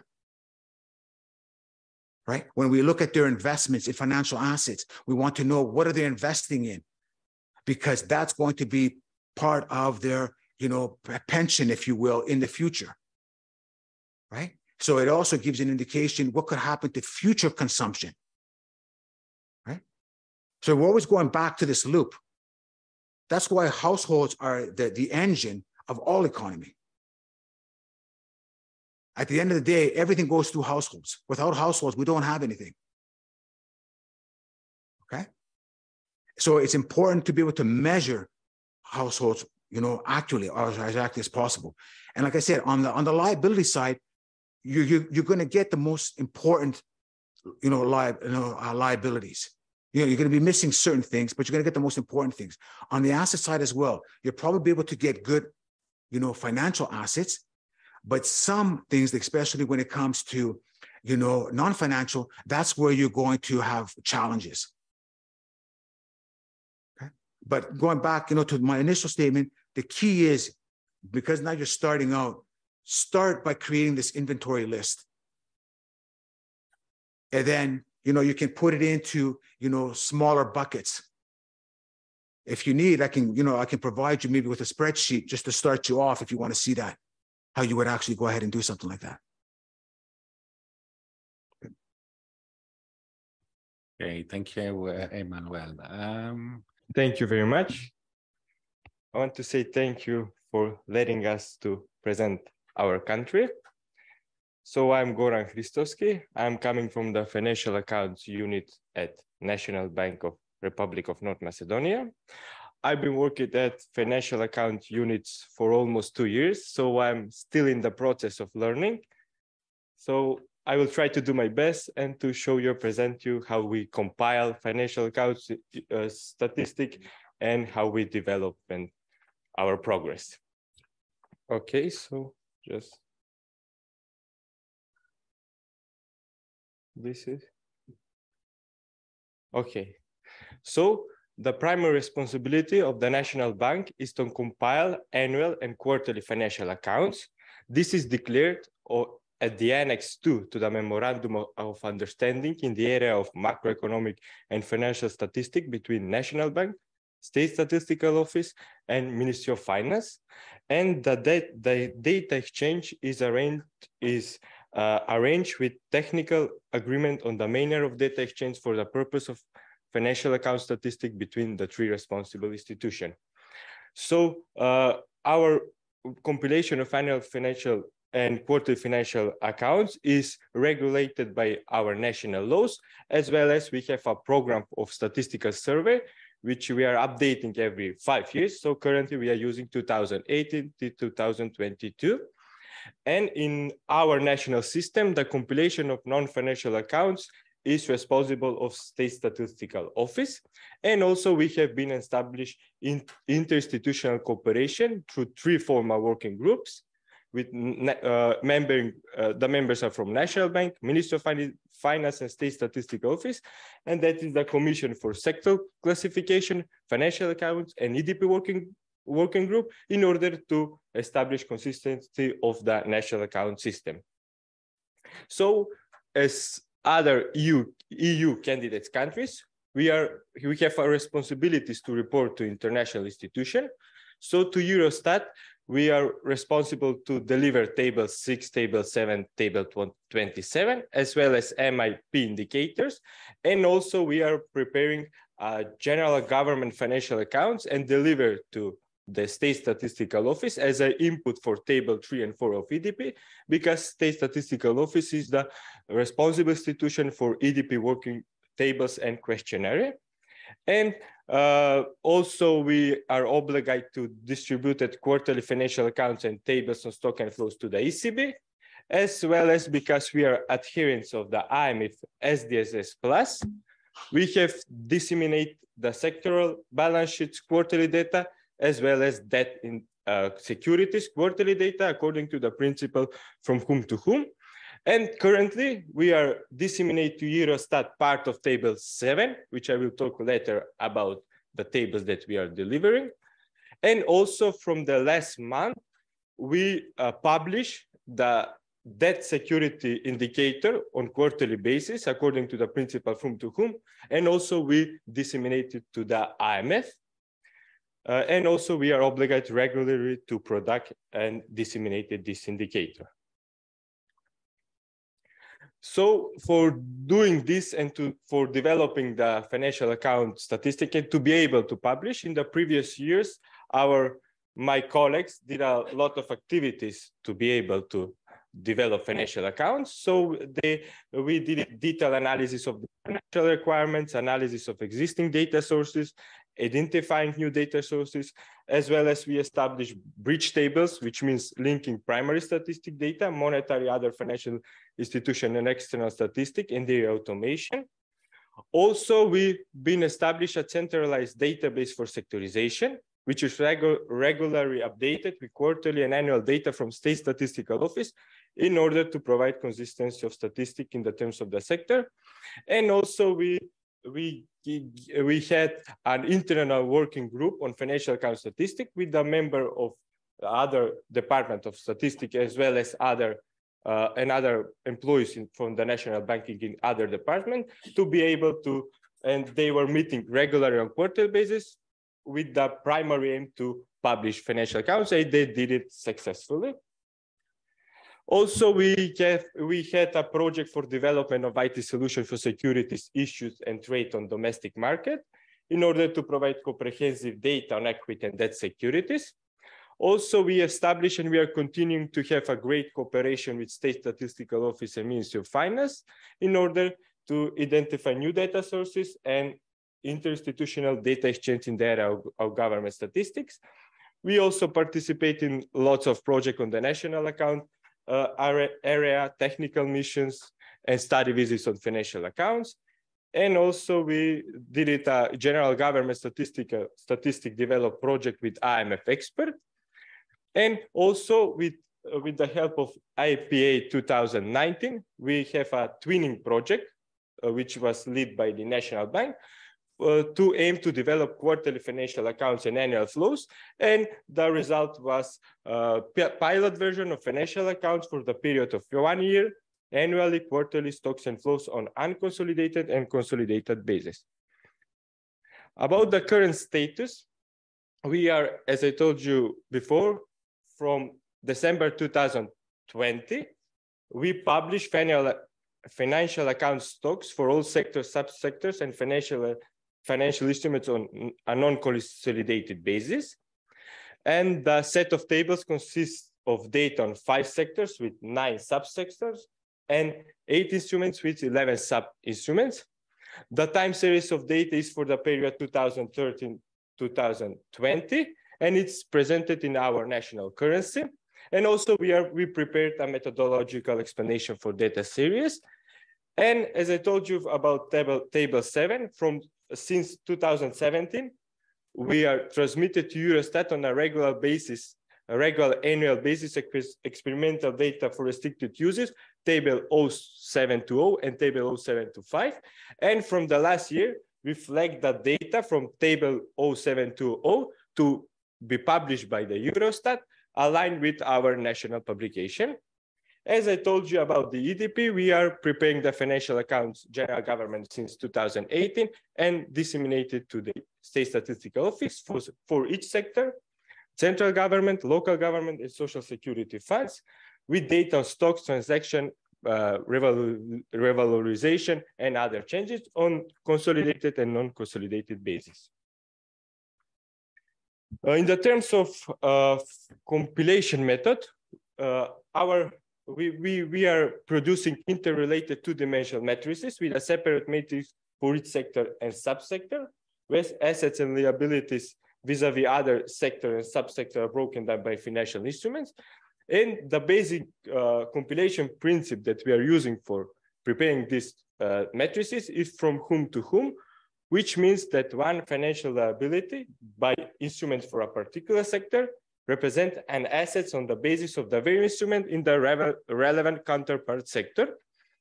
And uh, this a lot, a lot of two-dimensional matrices, we aggregate them in uh, is and we linked in the aggregate matrix which is broken down by assets and liabilities of each sector and subsector by financial instrument on gross basis. Uh, as we all know that financial account statistic is a secondary statistics, which uses the primary statistic that is available in national bank as well as other additional data sources, such as administrative and uh, granular data. Uh, the compilation is really, really complex because the different data that we are using uh, usually, usually are for the, the, uh, the other statistics. So they may be set on different methodological basis. So in terms when we have multiple data sources for the same data, we are, uh, we are based on the hierarchical setup of data sources. So we, uh, we rank the, uh, the multiple data sources, and we are choosing the one that has a better methodological compliance with ESA 2020, sectoral consistency, timeliness, satisfactory scope, and etc. And because the this statistic, because it's the secondary statistic, is also is using like a corrective mechanism for further improvements on the primary statistic when we see some discrepancy for the same instrument. And also the complexity of these sources. I have two metrics. Can I go to the sign, like to select? It's linked. No, maybe at the end. You know, there's a link on the side if you click. Yes. Yes, and uh, this is the matrix, two-dimensional matrix that we are compiling. So here, I don't know if you can see, yes, we have a different primary statistic that we are using for each financial uh, instrument for the sector and subsector. And we can see that for some uh, financial instruments, we have a multiple data sources. And this is because depending of the counterpart information that we are getting, we have multiple data sources. This is one for the financial assets. Also, we have on the financial liabilities, the same metrics. We can go back. And uh, about the data sources that we are using, uh, the, a lot of data sources, especially for monetary and office statistic as well as extra statistic, uh, we are getting in monthly and quarterly data. So this will help us to prepare and compile in the quarterly financial accounts. So for the monetary and office statistic, we are using national bank balance sheet, balance sheet of deposit taking corporation except the central bank, balance sheet of other financial institution, also for the external statistic, we are using the data they are preparing for compiling balance of payments and international investment position. That means we are using uh, trade credit with non-resident data, loan by loan with non-resident, investment equity invested in and from the rest of the world, and etc. And also for the non-financial corporation and government, we use the annual financial statements uh, we are getting aggregate data by the state statistical office and also we have individual data from the central register database that we are having. And uh, data on securities security by security we are getting from the central security depository. And we are getting the data for the debt and equity securities issued and trade on the domestic market. And for the data on general government, we are using the database from the Ministry of Finance. And also, uh, when we have some dilemma, some issues, we are getting additional data information from the website of the corporation and the institution. And also for the household and non-profit institution serving household, we as uh, we are getting the, the most of the information from the counterpart sector. And also that is our residuals that we are getting. And we're making, when we have some issues, also some expert judgment. About the EFA compilation system, as I told you with the twinning project we, from the IAP 2019, uh, we are we were we we started to implementing the Croatian National Bank technical solution, which is aimed to ensure efficient and systematic process for compiling and transmitting the full set of financial account data and an reported data, stock and flows to European institution. So I will try to explain you a little bit how is it works. So the data from the different data sources that we are complying in working tables, we are complying with unified structure. And then this system automatically aggregate this all uh, working tables with all the combina combination of the sector, subsector, counterpart sector, and financial institute uh, instruments. After that, it provides uh, two-dimension, uh, the two-dimensional matrices for the whole sectors and subsectors, and also uh, uh, after and they also it aggregates in the one matrix and automatically fills the transmission ESA, ESA table that needed to be distributed to Eurostat, and also it converts to SDMX. This system automatically converts to SDMX file needed, required by the Eurostat. About our strategy, so we are planning to compile and publicate quarterly financial accounts next year, 2023. And also in the near future, we are because we are have developed, we are in the process of developing, we have experimental data, we are planning to compile, compile and uh, of annual and quarterly sector financial accounts flows. And at the end to, uh, to get a full compliance with the, with the European and international statistic, statistic requirements and to be more harmonized with other countries. And at the end, I want to tell you briefly about the real data that we, we already published. So we can see from this graph that the data is from 2013 to 2020. And we can see that for the whole period, we are, we are net, uh, we have ne negative net financial, uh, net financial worth, which is deepening year by year.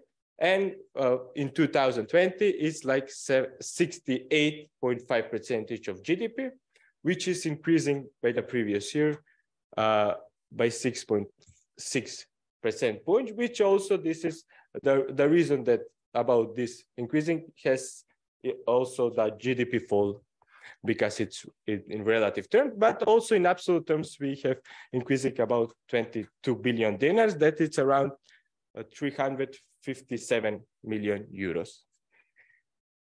And if we analyze sector by sector, we can see that uh, households and non-profit institutions serving household, as well as rest of the world, for the whole period are net creditor that finance the other sector, and that is non-financial corporation and general government. And we can see the green, the green uh, box is the uh, financial sector, corporation, uh, financial sector, and we can see because he's an intermediate sector that he has almost balanced net financial position. And dynamically analyze the deep and negative net financial flows a percentage of GDP is deteriorated negative because of the government and non-financial corporation, which is partially offset by the improvement of the household sector. That's it. Thank you very much. Okay, thank you very much, uh, Goran, for this uh, very good and inspiring presentation. Must say, I'm really impressed by the work you've been doing over the past few years, and I think it's can really be seen as an example also for other countries. And I really also like the way you practically solve issues once you encounter them. But I'm sure there are some questions from the room for you. Otherwise, I'm also looking at the discussant. Well, I have one question actually. I was looking at uh, the MOU so it's one memorandum of understanding for all three. So for the yes. national bank, yes, uh, the statistical office, and the ministry. Yes. Was that the case from the start, or was one institution added? I later think that know? it was the case for from the start, but I'm not very sure because, as I told you, when I came in the financial accounts unit, they already have it. So -hmm. maybe I will ask my colleagues, and I will I will but I think it was from the. Start. I ask because back in Iceland we are we are and thinking. also sorry to interrupt you. My mm. colleague she works as state statistic office, so she yeah she can answer this question. Maybe. Yes. Yeah. Yeah. Yeah. yeah. I know better than Goran, maybe. I'm in state statistical office over 20 years, so I think that uh, maybe I will not um, uh, exact uh, year, but 2008. I think that it was maybe earlier.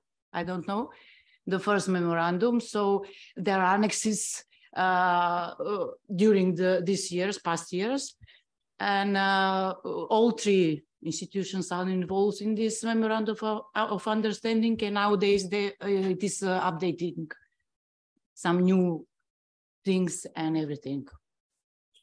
So it the, the three uh, institutions in all this and few years ago, many years ago.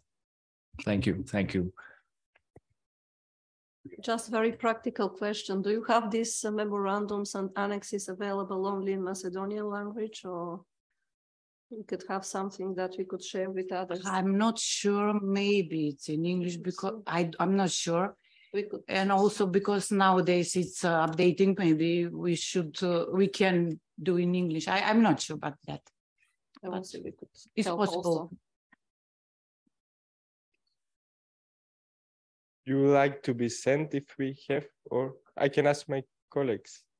Well, uh, actually, when we made the survey and with the countries, many countries uh, ex- express interest to uh, see, to share experience and to see how the institutional arrangements are arranged in the more advanced countries that already have compilation of financial accounts.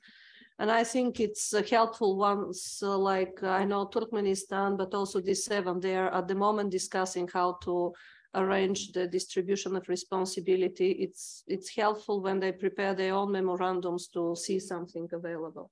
Okay, I will Uh, if you have, it's, Yeah, uh, of that's, uh, No problem. and Excuse me, only to add that this memorandum is not only for financial statistics, uh, financial accounts or financial things that it is uh, about everything that we share during the years between these three institutions.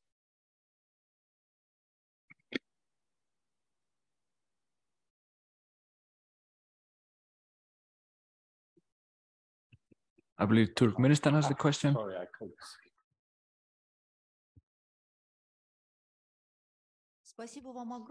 Thank you very much for the work that you've been conducting. This is a wonderful experience. I have a question on the last slide. You said you have cer- a certain strategy, how you conduct this information brainstorming and the strategy on data exchange. Do you have some formalized variant of that strategy?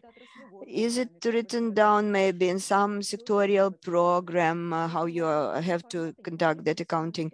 Or do you have some documents or some institutional documents that you could share with us as well? This is first question. Second question applies about the matrix, uh, from whom to whom. Do you do this matrices separately on every separate sector or every separate instrument? Can you please explain? But thank you very much for such a wonderful presentation and thank you very much for this huge work that you are conducting. Thank you very much. Uh, about the document, you asked me about the document, docu documents for the midterm strategy. Do we have some documents? I don't think so. We have, I'm not sure about that. Maybe I will also ask my colleagues for this question. But I don't think so. And about the metrics, metrics, uh, as I told you, we are from the primary statistic data, we are compiling uh, working tables with combination for the sector and subsector, counterpart information, and financial financial instruments. We are doing that that manually from the data sources, from different data sources. We are combining them, etc. And uh, the final metrics, the system that I told you is providing automatically. We don't need to enter the cell in the metrics. Uh, the, the EFA compilation system that we are using automatically do that, but we are, uh, we are preparing the master, we call it master tables for the whole combination for the whole, for the all sector, subsectors, all counterpart sector and financial instrument. That's how we do it.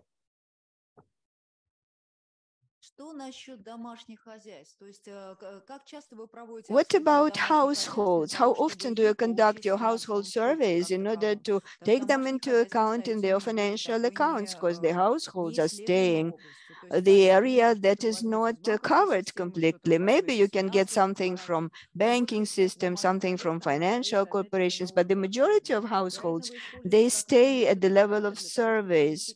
Maybe you are using some uh, assessments, uh, some uh, symmetrical calculations, average calculations. Share uh, with us this information. What do you do with households? Yes, uh, about the household, we don't have currently survey.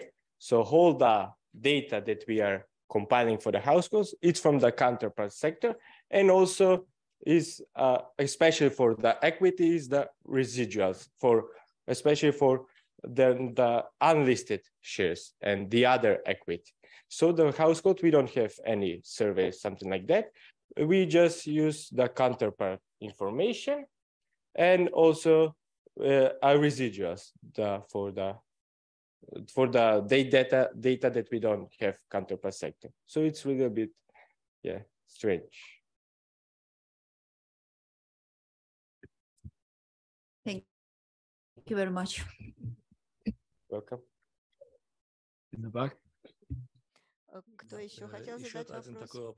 We have another question about the data on non-financial corporations. The data that you receive, for example, from business statistics, uh, how do you do any corrections?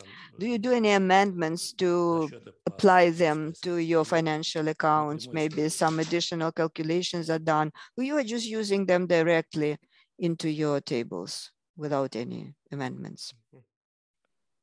Uh, the general information that we are using for non-financial corporation is is the, the the same data that they are providing the central registry databases. We are getting uh, the data for every uh, non-financial corporation from the their uh, the most for their balance sheets, and also uh, for especially I will tell you again for the equity, for other equity, especially for uh, because we don't have information for the counterpart sector, with which ones owns the company. So uh, here we did also some estimation. Uh, we we are using some percentage from the uh, how, how how is the ratio non-financial corporation from uh, from the listed shares. We are doing some calculation. So yes, we are doing some calculation, but a lot of data that we are using is the raw data that we are getting for because we are getting uh, annually uh, individual data for the central register.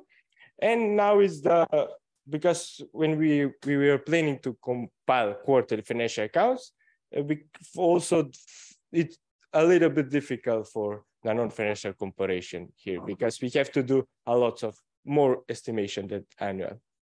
Thank maybe one last question also. Yeah. Uh, I saw that that one of the more recent developments is the development of a of a sector sector database. sector data. Sector database, a database with uh, units, and was it is it is it a database where you allocate sectors to units, sector classification? Uh, which I remember. For Uh, oh, I'm sorry. It's No, the no. centralized database for sectorization, oh yeah, yeah. So uh, and that is something that the central that the national bank has. no, the this center, just a second. This centralized database for sectorization. Yeah. Uh, they the the state statistical office had uh, updated this quarter annual data because they are getting information Mm. about the new enterprises that are opening. Some they are Yes. liquidating. So they are. Uh, she can also tell tell something more about that. Yes, we have uh, one commission for sectorization uh, between uh, four or five uh, institutions, National Bank, State Statistical Office, Central Register, Ministry of Finance, four. And uh, we discuss maybe when there are some um, uh, cases that so uh, we don't know where to put uh, which sector is. Uh, altogether we decide, but our role in uh, for state statistical office is uh, the main uh, uh, role. And uh, we have from central register, we have all uh, units, they have uh, sector already uh, when they with data, when they when we receive their financial statements. For one, for uh, maybe for some of them, we make decisions uh, together all.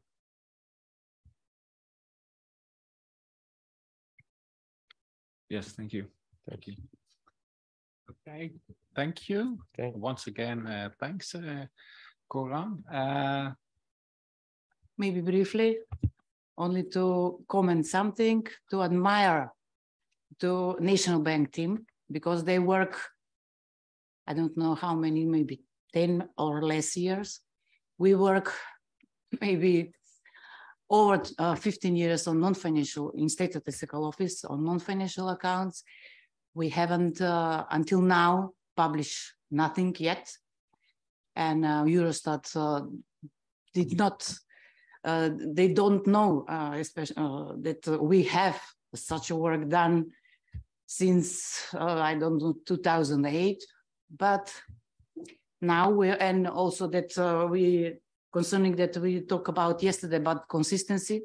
We don't have consistency, uh, especially in uh, non-financial corporations and households. There are big, uh, um, there is a big discrepancy. But uh, now on uh, IPA 2019, we are we have uh, one activity, especially to consistency also between non-financial and financial uh, uh, accounts. So thank you to Goran, but especially that he's, I think that he's the youngest man there.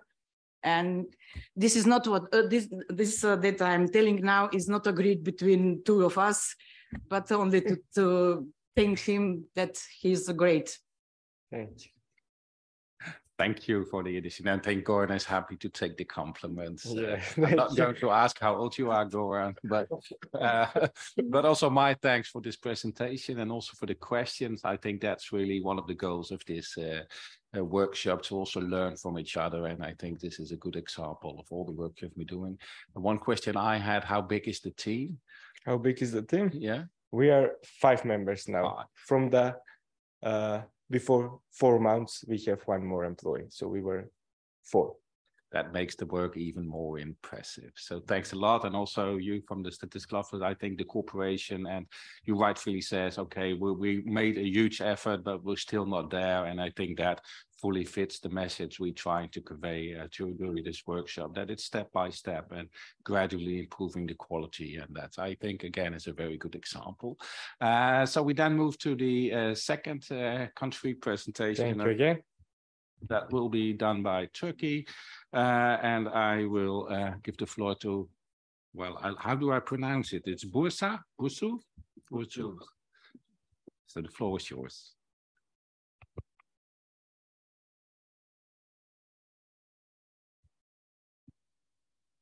Hi, everyone. Again, my name is Burcu.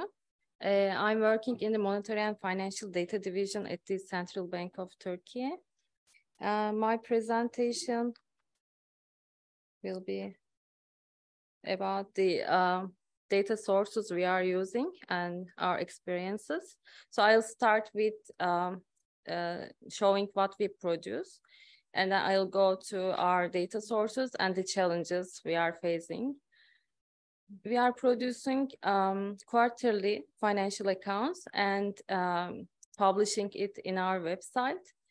Uh, the latest data is for um, second quarter of this year. Uh, we are um, publishing our metadata and also revision policy with uh, the data. Uh, also, we are publishing our institutional sector list to give an idea what uh, which sector covers which institutions. Uh, we are transmitting uh, data to international organizations as well. Um, for Eurostat, uh, we are we have annual transmissions. Uh, so we have both consolidated and non-consolidated stocks and transactions. Uh, we also produce other changes in volume accounts and valuation adjustments. Uh, as of this year, we started to transmit table 27 to Eurostat. Uh, we are also transmitting the same similar data to OECD, and we are transmitting quarterly data to the BIS. Uh, we are also, with, uh, along with the um, data, we are uh, producing uh, a quarterly report. It is basically uh, descriptive statistics about the latest quarter. and um, we are giving um, latest developments at sectoral level. We are also showing uh, some key indicators like debt to GDP or debt to uh, household debt to um, disposable income and our rankings with the um, European or other peer countries. Uh, there are also two blog papers written uh, by our colleagues uh, about um, the household total debt and uh, household indebtedness levels. Uh, they are basically uh, communication tools to show how uh, how researchers can use uh, financial accounts. We also held um, a workshop on the use of financial accounts in 2019. And on this workshop, we co-authored and we write um, two papers uh, with the Irving Fisher Committee uh, of the IFC. There is also one thesis work uh, done uh, by our colleague uh, about uh, the use of financial accounts. It is in Turkish. So data sources, um, I think the first two presentations also cover the same thing. So I am going to pass these slides um, uh, quicker, but um, this is the list, uh, the potential data sources that we might have at the sectoral level. And also we can, um, we have, we can go to the instrument level after uh, identifying the potential data sources for the sectors. We are going to the instrument levels. Uh, administrative data and um, the macroeconomic statistics compliant with international standards comes first. Uh, for households, for example, you can use survey data, but in Turkey, we, in Turkey, we don't use it. So when you have uh, multiple resources, um, you need an, a hierarchy. Uh, what we do is we um, first use the um, statistics which is compliant with international standards like IIP and GFS. And uh, we then we use uh, regulatory and supervisory data if it is available. And also we uh, use um, statistics which is published with metadata. It is also usable. Um, in this part, I'm going to share our data sources sector by sector. For non-financial corporations, we have two um, major data sources. One is balance sheets, but it is annual. And the other is counterpart data, which uh, come from mostly money and banking statistics, IIP. And also we have security statistics, uh, security by security database, which we produce. Uh, also, we have uh, financial accounts of other sectors, which we compile directly from their balance sheets. So we use them as counterpart data. What we do is uh, we use counterpart, counterpart data as the main source, but complement it with the annual balances. Uh, for um, currency, shares and other equity, and other accounts receivable uh, and payables items.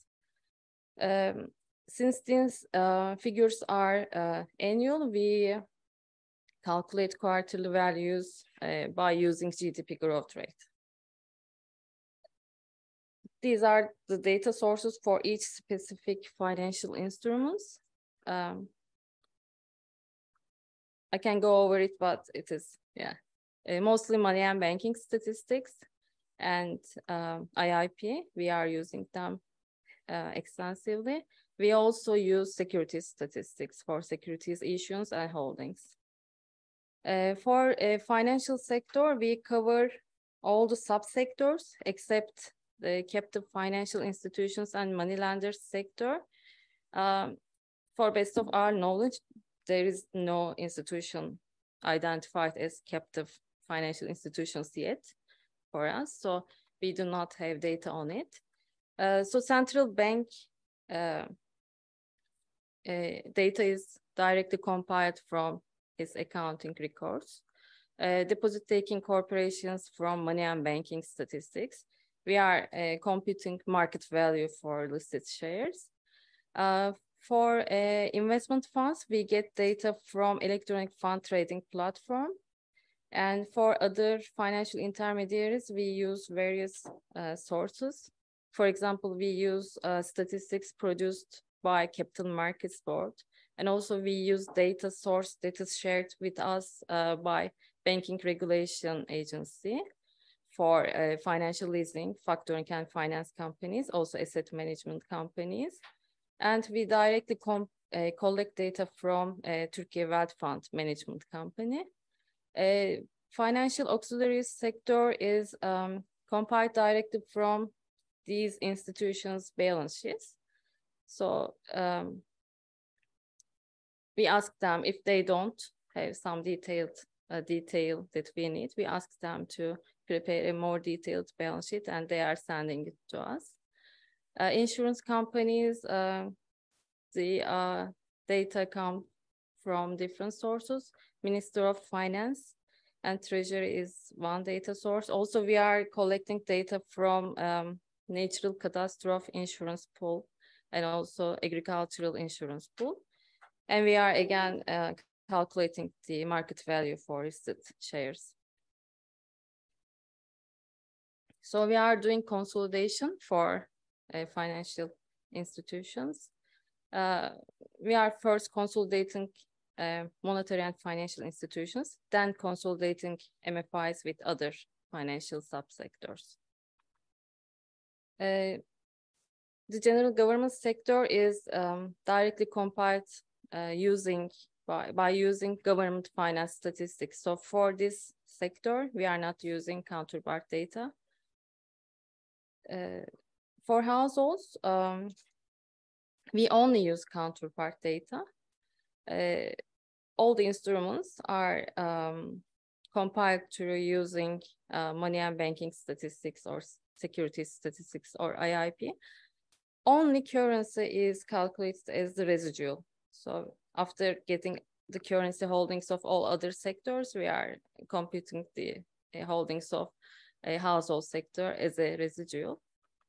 Um, for non-profit institutions serving households, the um, practice is similar to non-financial corporations. So we have annual data from Turkstat, uh, annual balance sheet data, and we also have counterpart high frequency data. Uh, for NPISH, we are using balance sheets for currency and shares and other equity items.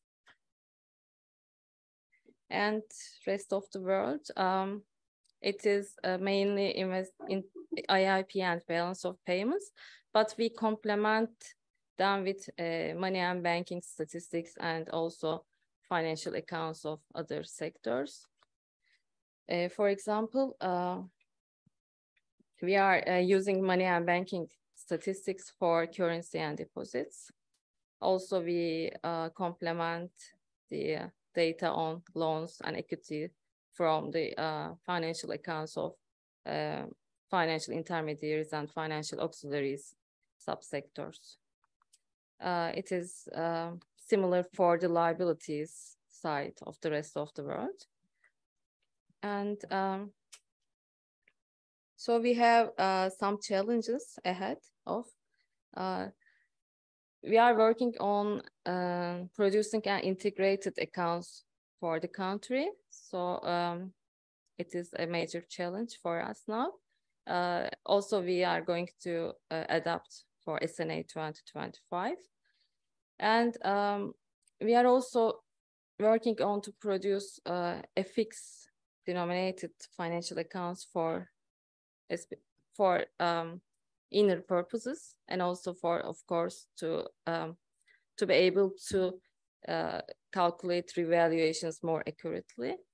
So uh, we need to improve data quality for this, uh, we want to make a counterpart study with the Minister of Treasury and Finance. And also we have some timeliness uh, problems for some subsectors we are, which are not uh, large, but uh, we also want to improve it. Uh, we want to improve our coverage. We need to include electronic money institutions, which are gaining importance. And also we, we are going to uh, include portfolio management companies uh, as, a, as to the related sector. Um, we want to have a more detailed sectoral coverage from IIP and BOP so we can use it as the only as the uh, mm, the data source. And uh, we want to have a more flexible database. Uh, for now as it comes from uh, many different sources our database is not very flexible so we want to have a database that can serve for um, all kind of resource purposes also that's all for me thank you Okay, thank you very much. Mhm. And like the previous presentation, also really impressed by the work you've been doing. Thank And I you. can imagine that there are some questions from the floor. just to start off maybe from me uh do you also so do you have an mou um Mm. uh behind the the collaboration with the statistical Mm. office or is that something that Uh, we have an official program. Official It's a statistics program, Mhm. and uh, it um, gives the responsibility. It specifies the responsibility areas for each institution. Also, the data sharing uh, responsibilities for each institution. It is a medium-term program, like four five years. Uh, it is like a legislation. So it is the main uh, item we are using for yes, Yes. yes. But we are working on a, uh um, memorandum of item uh, for I think general government. We were discussing it with my colleague from Turkstat. Uh, but the main uh, is the official statistics program. right yeah thanks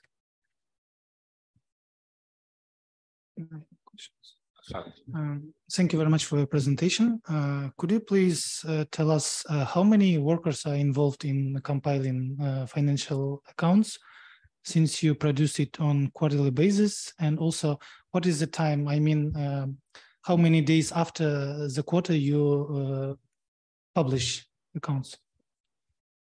Uh, we are now uh, five people, but we are going to be six uh, on the team. But uh, on the development phase, I mean, uh, when we were adding all the sectors and increasing the coverage, the team was lar- um, the, the number of the workers were much higher. I mean, we were like eight people maybe, but for now we are six people, and we are um, disseminating the data like for the second quarter of this year, it was disseminated in uh, July.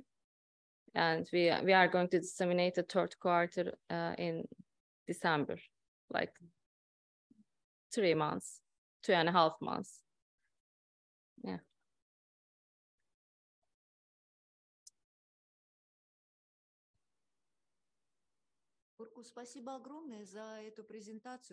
Thank you very much for your presentation. Burcu, it's a great presentation. I have a question. Did you change something in monetary statistics when you started to compile the financial accounts?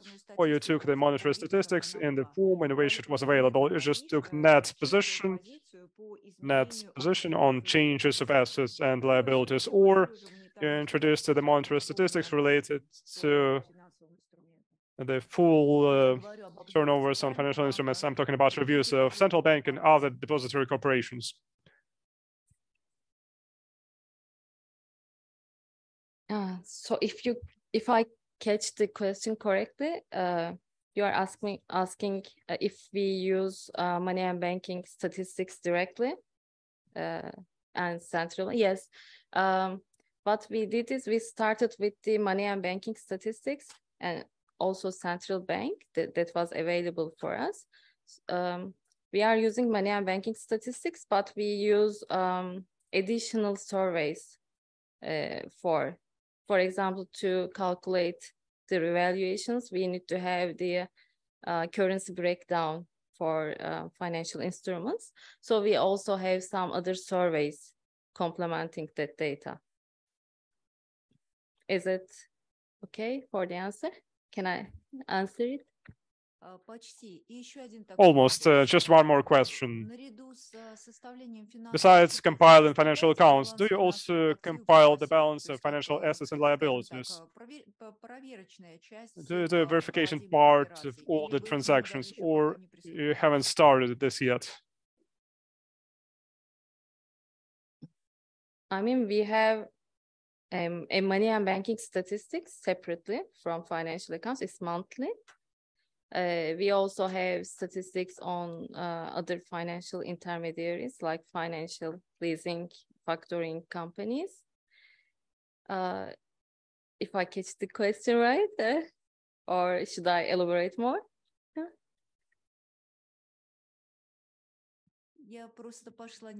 I just uh, went further because in addition to compiling financial accounts, to verify all the statistics we compile, we also compile the balance sheet of assets and liabilities. This is further steps. As you already collect so the financial accounts, I thought that you may have some developments related to compiling the balance sheets of assets and liabilities. This is just a question. Thank you very much. You almost answered some of my questions. If you have this information, I would appreciate if you can share it. If you don't have information on the balance sheet of assets and liabilities, it's not a problem.